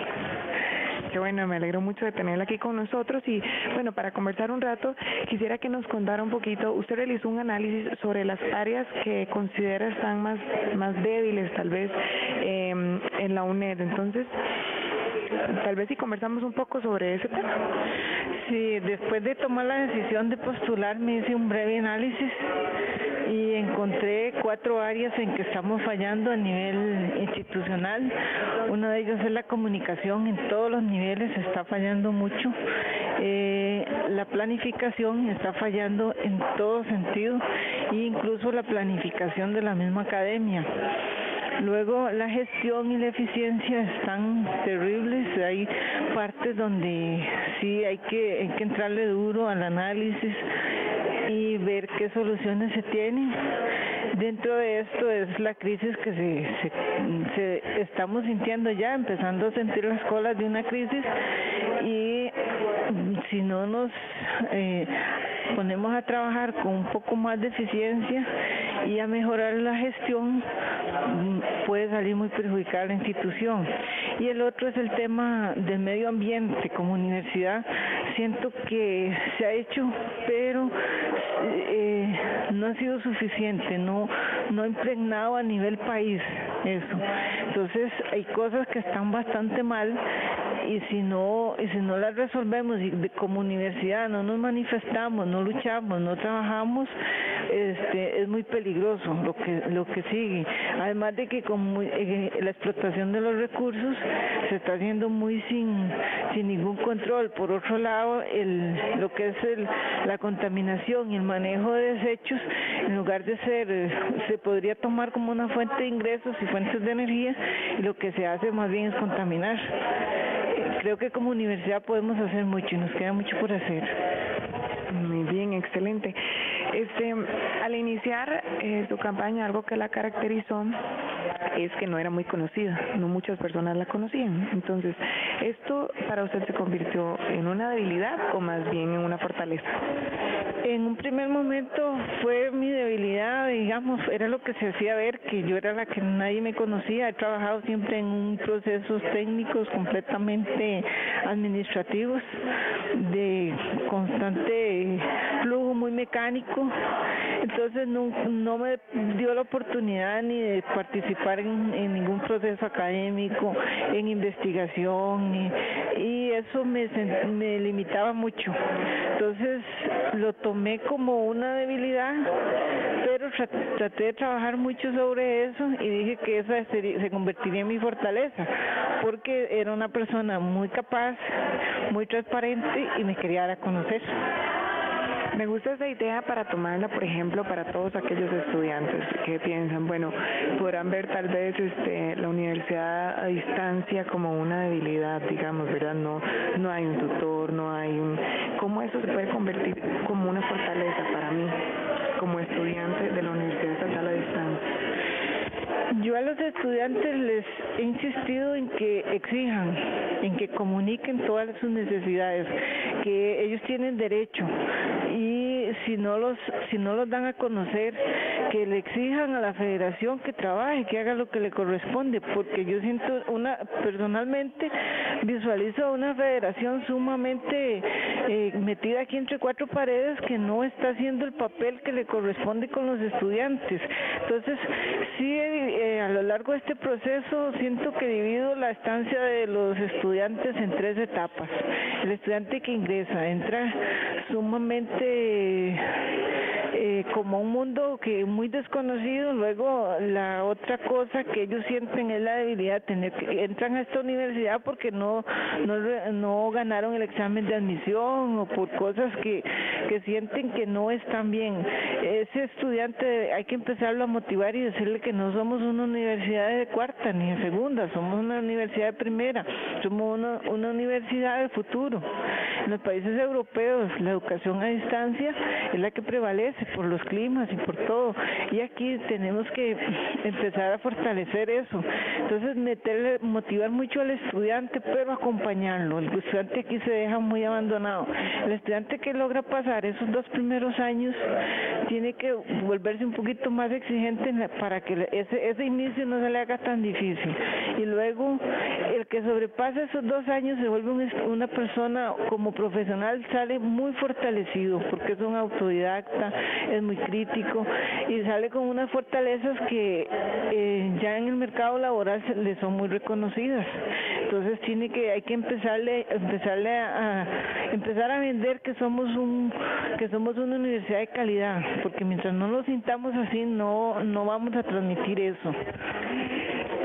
Eso yo considero que viene desde adentro, ¿verdad? ¿Cómo considera usted este ambiente UNED, este mundo UNED, para proyectarse hacia los estudiantes de esa manera?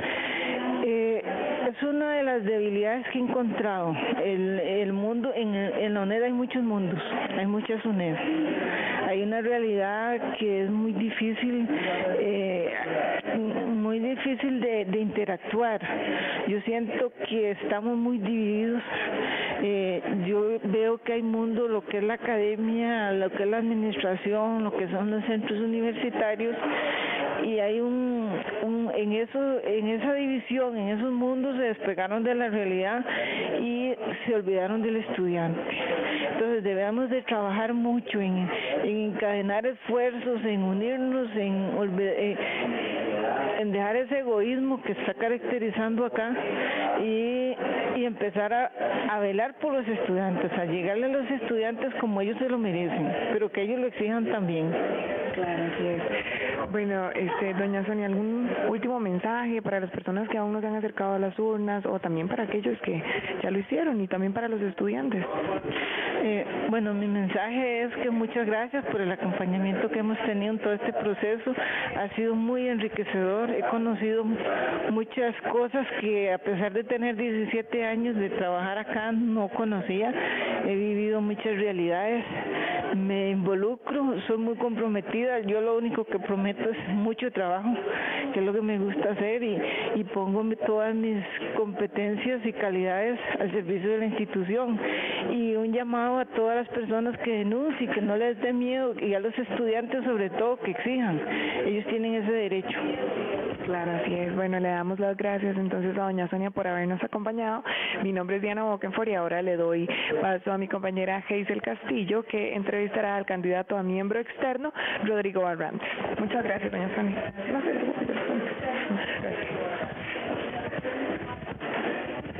Ella, ¿dónde? Sí. Es un gusto para nosotros acá en Andaunet entrevistar hoy a el candidato a miembro externo, don Rodrigo Barrantes, que estábamos hablando hace un rato que sería la tercera vez a la que usted aspira a participar en Consejo Universitario. una vez fui miembro interno del periodo completo y en el segundo periodo que estaba como miembro externo me llamaron a ser vicerrector académico de la universidad y ahí terminé. No lo completé, no lo hice completo contado también que usted ha, sido el, editor y el protagonizador de, de varios libros para nuestra universidad, que inclusive uno de ellos lo estoy utilizando yo actualmente en una de las materias que, que estoy llevando. Sí, se va eh, investigación un camino al conocimiento, un enfoque cualitativo y cuantitativo que por cierto se está actualizando, se está mejorando y se está eh, dándole otro, otro, otro enfoque más, más de hacer ejemplos y, y completarlo más para que tenga más impacto en los estudiantes. Y también hice el módulo para estudios generales en investigación que se llama Hacia el Conocimiento Científico. Hablábamos ahora de cuáles son cuáles el cuáles son los vacíos que usted todavía identifica dentro de nuestra universidad. Creo que en este momento la inducción a la gente que inicia en, el, en la universidad le falta bastante. O sea, creo que toda la, la, gente que entra a la universidad debería saber muy bien qué es educación a distancia, para qué sirve y qué vacío ha llenado en Costa Rica en su historia. Eh, la misión de la UNED es muy importante y es llegar a ciertas eh, poblaciones a las que no llega la educación presencial. Y también, por ejemplo, tenemos el, el CONET, que es un asunto muy importante para gente que tampoco, tampoco ha sacado su bachillerato.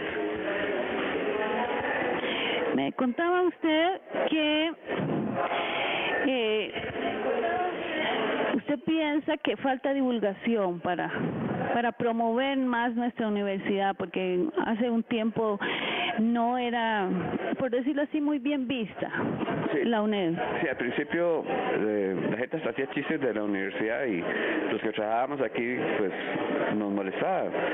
Los medios los mismos medios de comunicación como no, no informaban bien qué, qué era educación a distancia porque en Costa Rica no sabían qué era educación a distancia la idea vino de España y allá había una universidad que se llama la universidad es igual que aquí pero de España. De ahí creo que fue el ministro de educación que trajo la idea para ponerlo en Costa Rica. Y se luchó mucho también porque tenemos que buscar un, un espacio en, en en CONARE y, y, las otras universidades como que no querían hablar tampoco parte de lo que ellos les correspondía en el FES. Eh, la lucha fue muy dura y yo creo que en ese momento, después de 35 años, hemos demostrado que la universidad funciona y que funciona muy bien. Sin embargo, mucha gente a veces no entiende qué es y todavía no la conoce muy bien. Creo que falta un poquito divulgar ese gran papel que la universidad ha dado en el país y que se está dando todavía. Si fuese elegido ya por tercera vez, ¿cuál es su meta principal?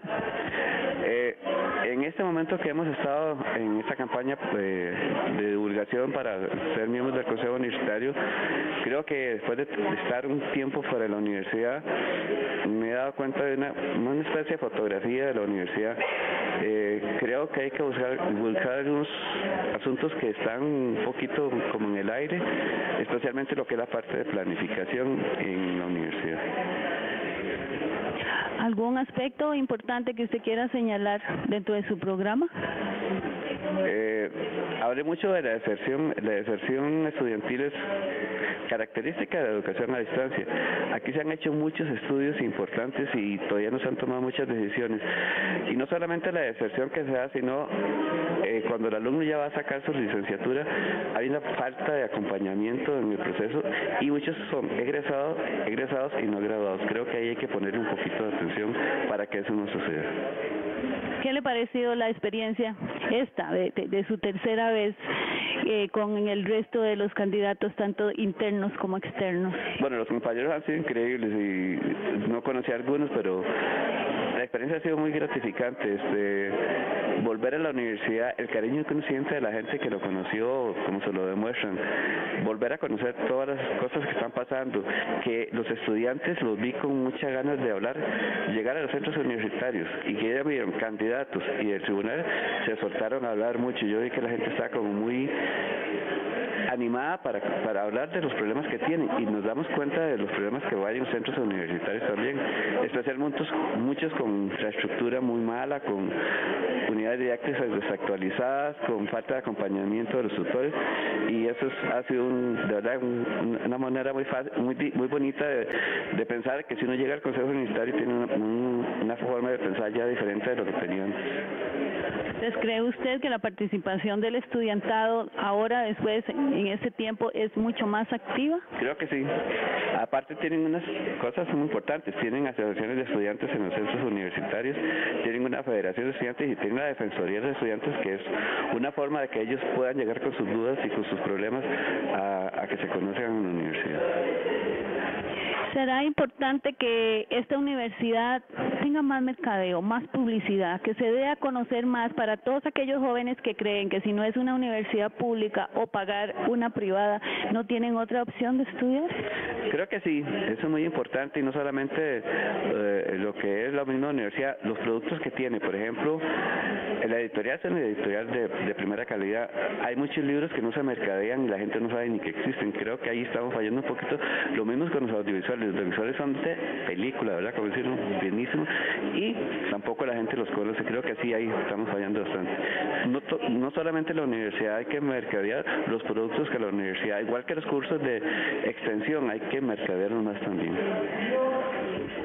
¿Cree usted que es necesario agregar nuevas carreras a esta universidad? Mm, la oferta académica no, no ha cambiado mucho desde el principio. Creo que sí hay que ser haciendo estudios de mercado, ¿verdad? ¿Qué necesitamos? ¿Qué nuevas carreras? Eso estoy pensando en que todas las carreras no se pueden dar en todos lados. Creo que hay centros universitarios que le faltan laboratorios y muchas cosas. Entonces, como que más bien las regiones nos digan qué necesitamos para nosotros darles una respuesta. ¿Qué otro aspecto le gustaría agregar a usted, don Rodrigo, con tanta experiencia que usted tiene en, esto del Consejo Universitario? No, el Consejo Universitario es un ente colegiado que, ¿qué puede prometer uno? Pues trabajo, análisis, eh, compartir con la gente que le pueda ayudar a uno a resolver lo que uno no conoce muy bien y mucho esfuerzo y mucha ética, exactamente, pero como promesas, promesas en un ente colegiado en que se vota por, en que se todo se toma por votación, es muy difícil así como decir voy a prometer esto, ¿no?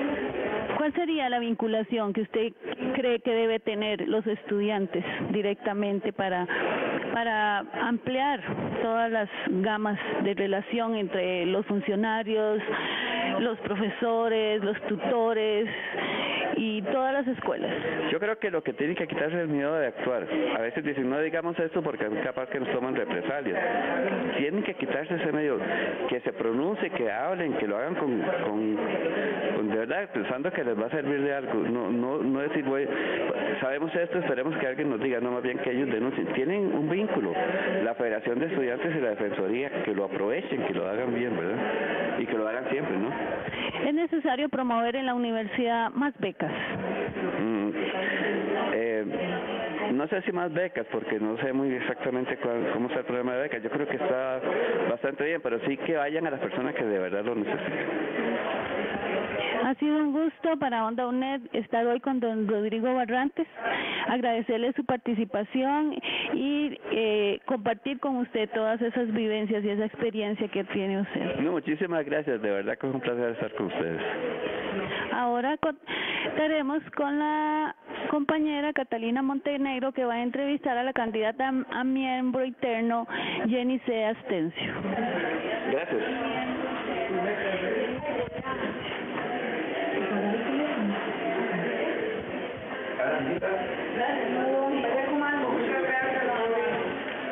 ¿Dónde lo tengo? ¿A quién mando?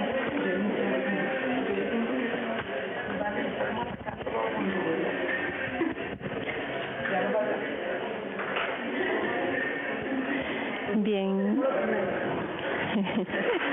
Continuamos aquí en esta ronda de entrevistas, ya a casi una hora de que se cierre se cierren las urnas aquí, por lo menos en la sede central en Sabanilla. Casi hemos culminado entrevistar a los 12 candidatos y candidatas para estas elecciones de concejales internos y externos. Conversamos con Jenny Seas. Ella eh, es una persona que se ha abocado muchísimo al tema de la educación, tiene un doctorado en educación y ha participado en varias instancias donde ha podido reflexionar sobre este tema y queremos aprovechar eh, esta experiencia suya, Jenny, que además fue candidata hace dos años también y que tuvimos la oportunidad de entrevistar eh, para conversar un poco sobre los retos desde la perspectiva, eh, digamos, no quiero decir académica, pero desde, desde la esencia, digamos, de institución educativa que tendría la UNED según su perspectiva. Bueno, eh, la educación a distancia fue concebida hace ya bastantes años como un modelo que permitía llegar a personas que no tenían acceso a la educación superior eh, como tradicionalmente la teníamos presencialmente. Eh, en diferentes países, en América Latina, en Europa, Asia, África, se utiliza la educación a distancia. En algunos eh, todavía hay alguna restricción sobre combinarla con, con ojos de, de tal vez verla como limitada para el desarrollo de la calidad, pero esos son pocos los países que, tienen todavía esa visión. A nivel eh, internacional tenemos universidades de mucho prestigio en educación a distancia y que han ido desarrollándose para enfrentar los retos que se van presentando eh, en cada momento histórico. Y actualmente la educación a distancia tiene un gran potencial porque con el, uso de las tecnologías de la información y la comunicación ya los modelos de educación a distancia tenían desarrollado conocimiento, experticia, procesos administrativos, académicos para desarrollar los procesos de enseñanza y aprendizaje. Y las tecnologías de la información y la comunicación contribuyen a lograr un elemento que era tal vez uno de los posibles vacíos que se sentían en la educación a distancia, que tenía que ver con el acompañamiento del estudiantado y con las posibilidades de, comunicación y de intercambio entre estudiantes y estudiantes y docentes. Eh, las tecnologías vienen a contribuir para que ese elemento de comunicación suceda eh, en este momento.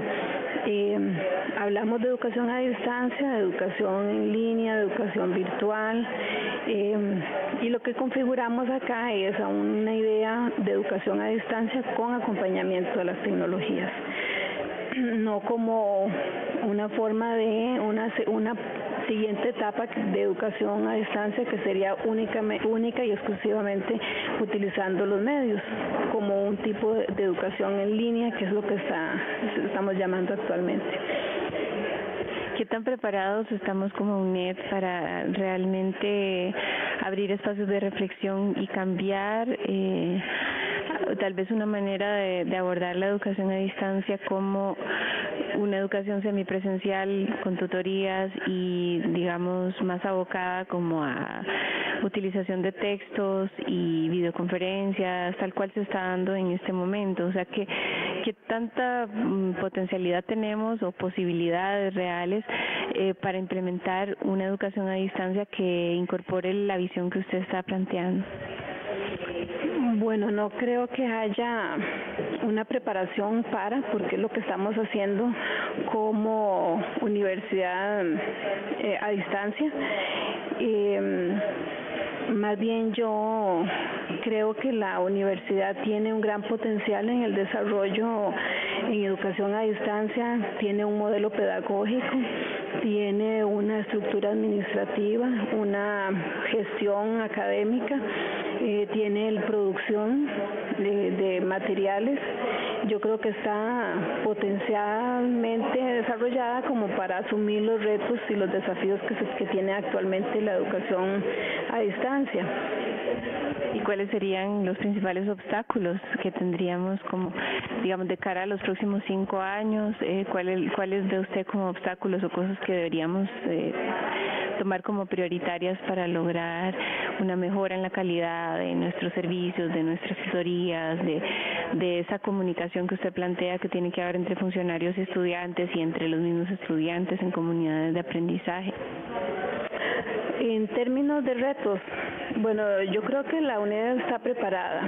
Yo lo que pienso es que debemos reflexionar sobre aquellas políticas, sobre aquellos lineamientos que necesitamos todos y todas para trabajar eh, de cara a una situación de, en 5 o 10 años si nosotros queremos implementar eh, el uso de las tecnologías de la información y la comunicación de manera más agresiva y cubrir mayor número de la población, bueno, tenemos que partir de conocer cómo es la situación de conectividad en el país, eh, qué competencias y qué habilidades tienen nuestros, nuestros estudiantes y nuestros profesores. El, el tema de la incorporación de las tecnologías es bastante... Eh, es, un, es un tema que hay que analizar porque eh, las personas necesitamos desarrollar competencias para el uso de las, de las tecnologías y competencias para y de tipo informacional que nos permita bueno construir conocimiento y que nos permita la comunicación. Eh, también hay otro elemento fundamental que nosotros debemos de reconocer y de incorporar, que son las diferencias culturales. Y Costa Rica siendo un país tan pequeño, hay una gran diversidad.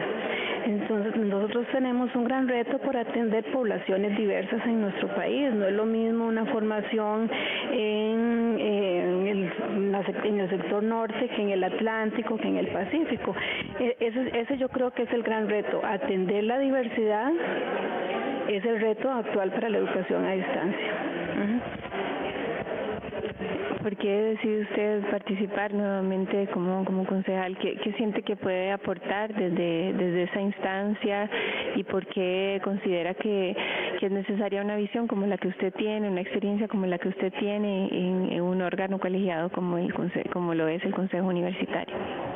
Bueno, primero que todo yo soy una convencida de que la educación a distancia es la educación que se necesita en, el país, trasciende la educación superior, nosotros la necesitamos en primaria y en secundaria. Me refiero a un sistema de educación a distancia para el país. Creo que es la oportunidad para que muchas personas eh, accedan a la educación superior que sea un motor de desarrollo eh, para cada una de las familias, para cada una de las personas, para cada una de las regiones.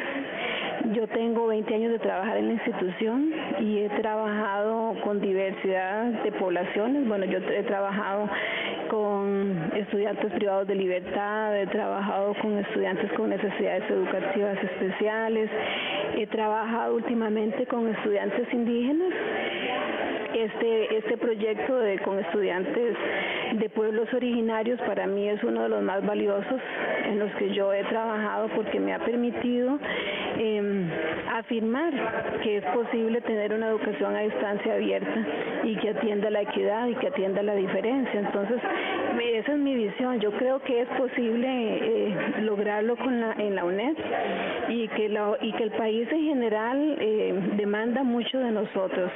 Y es increíble cómo toda Centroamérica, muchas instituciones eh, de países hermanos están a la expectativa de lo que nosotros hagamos y cómo poder establecer alianzas. Para mí es fundamental porque en la medida que Centroamérica crece, eh, crece Costa Rica también. No nos podemos sentir un país eh, aislado de Centroamérica, aislado del mundo. Entonces yo creo que, que en ese aspecto nosotros como Universidad Pública Costarricense tenemos bastantes retos y aportes que dar. Jenny, muchas gracias por estar aquí con nosotros. Eh, mañana estaremos cubriendo el conteo de votos. No sabemos si, si vamos a tener que ir a una segunda ronda.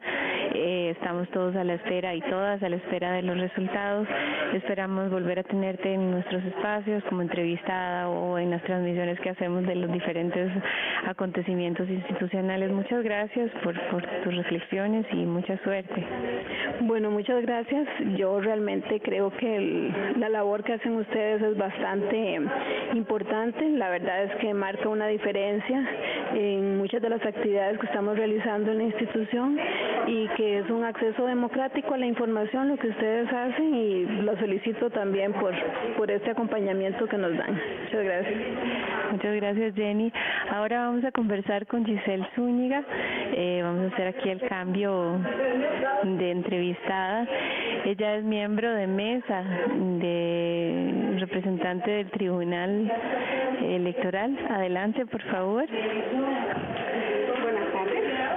Tardes, Giselle. Sabemos que ustedes desde temprana mañana están aquí ya eh, recibiendo a los votantes y tratando de hacer un proceso lo más transparente y lo más eficiente posible. La mañana estuvo bastante llena. ¿Qué podemos decir? Eh, ya queda más o menos una hora para cerrar las urnas. A este momento, ¿cómo, cómo ha visto usted el proceso? ¿Qué comentarios podría hacernos? Bueno, muchas gracias. Eh, sí, ha sido una larga jornada, eh, un poquito extenuante. Estamos desde las 7 de la mañana, nos convocaron, entonces estamos, hemos estado contando todo, eh, todas las boletas, el papeleo, ordenando. Eh, pienso que el tribunal ha hecho una excelente labor.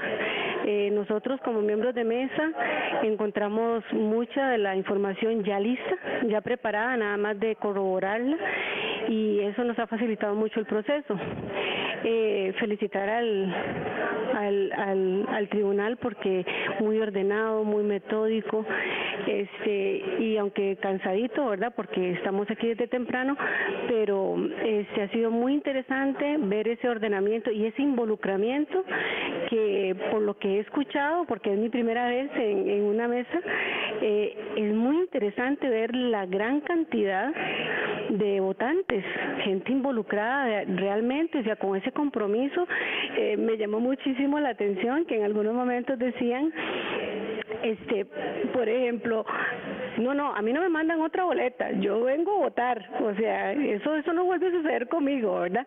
Eh, lástima que sea eh, algo, digamos, como, como a la fuerza, pero sí es una gran lección, es una gran lección eh, de votante, yo también como como tutora también voté, ¿verdad? Entonces me gustó mucho esa recepción, esa calidez que se vio en las mesas, eh, ese ordenamiento que vos estás como bien, eh, como que no, no existió, y eso me gustó muchísimo, el no existió siempre el sí, si se puede, si lo vamos a hacer, cuál es su problema, si hubo algún problema, eh, se resolvió. ¿Me explico? O sea, que, que hubo esa, esa parte linda que tiene que tener un proceso electoral. O sea, no, no se vio nada como en otros lados lo hemos visto, ¿verdad? Que es eh, eh, gente que, que va a la, a la fuerza o que no van como con esa alegría. Y además que vimos que ya a las 11 y 30 de la mañana, yo le dije a mi compañera, voy a hacer un cortecito aquí para ver cuánta gente votado. Ya habían votado en la mesa de nosotros 231 personas. Entonces yo dije, pero qué maravilla. O sea, ya tan temprano en la mañana, ya cuando nosotros abrimos la, la, mesa ya había fila, o sea, ya había gente que quería votar temprano. Y eso dice mucho, dice mucho del gremio, dice mucho de nosotros como universidad y eso es muy lindo. ¿Usted en cuál mesa estaba? Yo estoy en la mesa de los profesionales. Muy bien. Eh, para esa mesa se esperaban, se esperan 340 votos aquí. ¿Cuál es el procedimiento? Contémosle a la gente que nos está siguiendo a través de ondaunet.com ahora, porque sabemos que mañana es el conteo de votos, pero que viene material de los centros universitarios. Recuerden que somos una universidad que está por todo el país, quiere decir que la organización y la coordinación de entrega de votos es compleja. Cuéntenos un poco cómo va a ser el día de mañana y eventualmente por cuáles razones tendríamos que volver a una segunda ronda? Bueno, eh, el proceso que sigue ahora a las 7 de la noche, nosotros tenemos la orden de que hay que cerrar las urnas. Ya en ese momento se cierra, se sella la, la puerta, nadie puede entrar, únicamente la gente que está como eh, observadora, que pueden entrar todos los observadores a ver el proceso. Y eh, nosotros abrimos cada una de las de las eh, cajas receptoras de, de votos y comenzamos a clasificar. Esa clasificación tiene que ser muy rigurosa, somos tres miembros de mesa, cada uno de nosotros eh, coge eh, un proceso, ¿verdad? Unos vamos a, a ver las boletas, las, se las pasamos al otro compañero para que corrobore y la última compañera ya comienza a separar. Eh, por lo general, digamos, lo que se espera es que en- entre las tres personas logremos hasta las 10 de la noche tener ya el conteo eh, de votos y que la gente que está observando vea que es un proceso totalmente transparente. Eh, se levantan las actas y comenzamos ya a, poner en números ya lo que encontramos, digamos que fue lo que lo que fue el resultado de la votación. Iríamos a una segunda ronda y ojalá que no, porque sabemos que es un proceso costoso. Este, pero este em, únicamente si algunos de los candidatos quedan empatados o no llegáramos al 40% creo que cada uno necesita para para eso de los candidatos estamos nosotros estamos candidatos con los candidatos internos y externos. Por eso, pero si hay un empate en candidatos internos, se Es que el externo hay solo uno, sí, hay dos puestos, ajá. Entonces, yo creo que sí, sí se va a lograr, digamos, eh, como que no se llegaría, porque hay, hay, hay muchas posibilidades de que haya un 50 y 50%, o haya un 30, un 20, un 40, un 60, o sea, sí, sí creo que no habría mucho problema. Habría problema cuando es solo un candidato, ¿verdad? Pero yo creo que con los candidatos externos no habría mucho problema.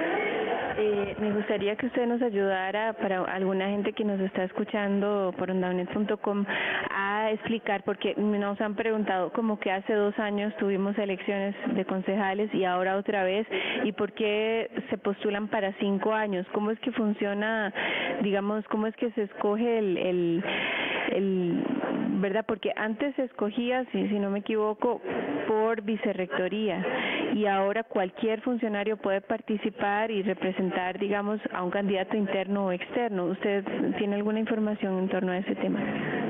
Yo lo que entiendo es que se hizo un proceso más democrático.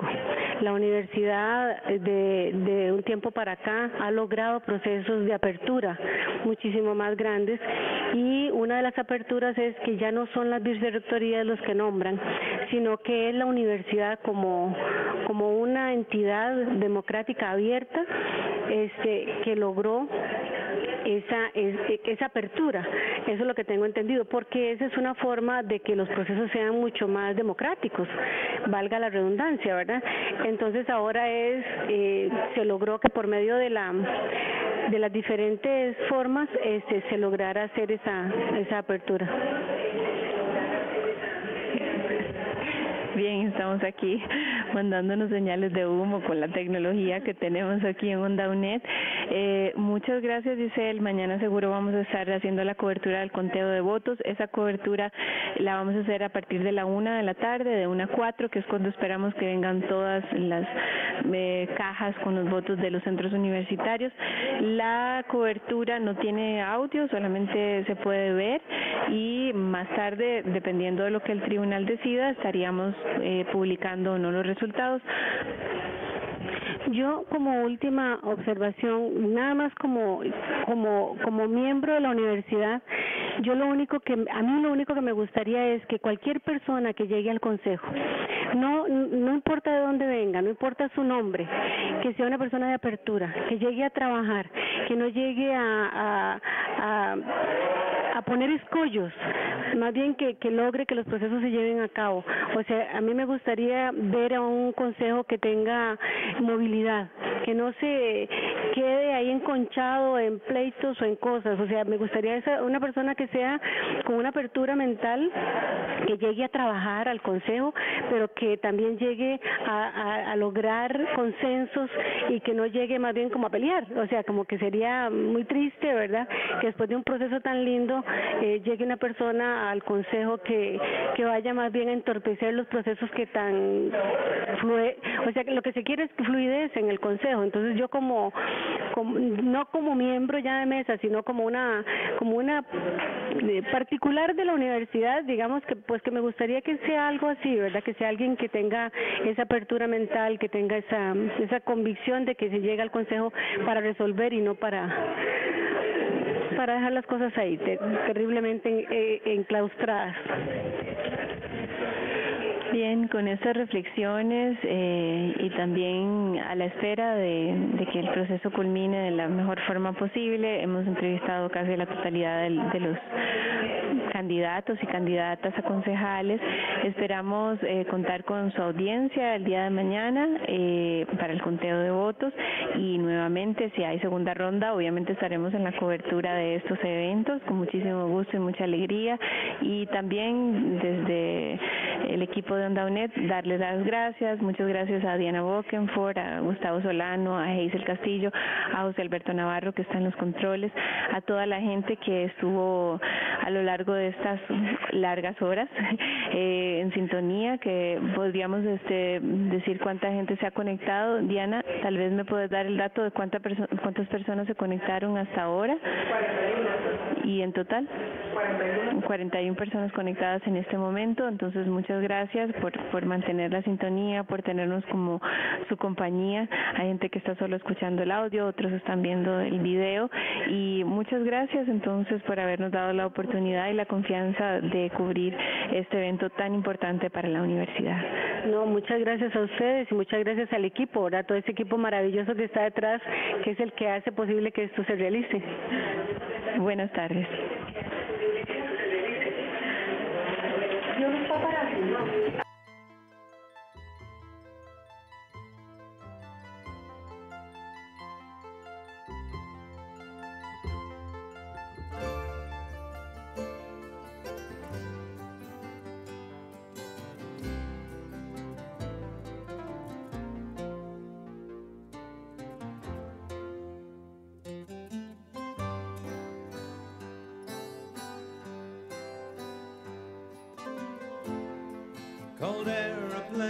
Aeroplanes, slow boats, warm terrains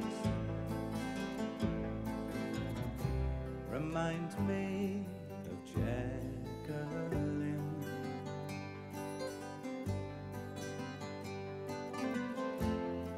Flush hotels and pretty girls. Won't share the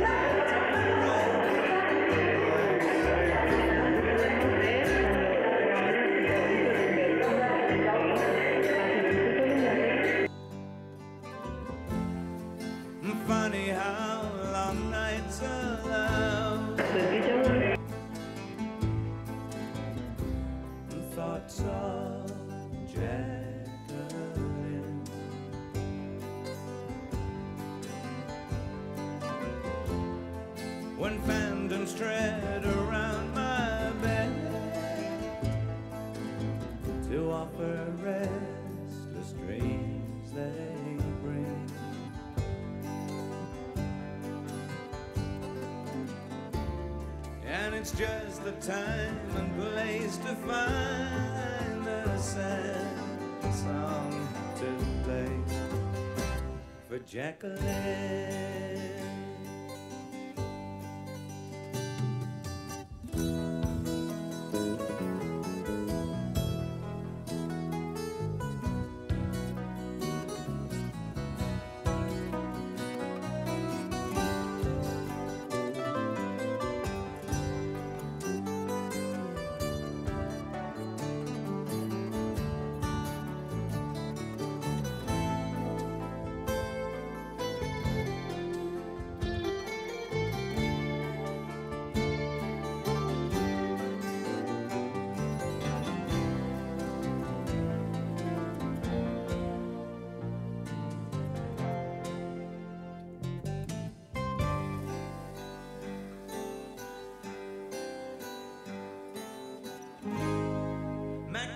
The tree,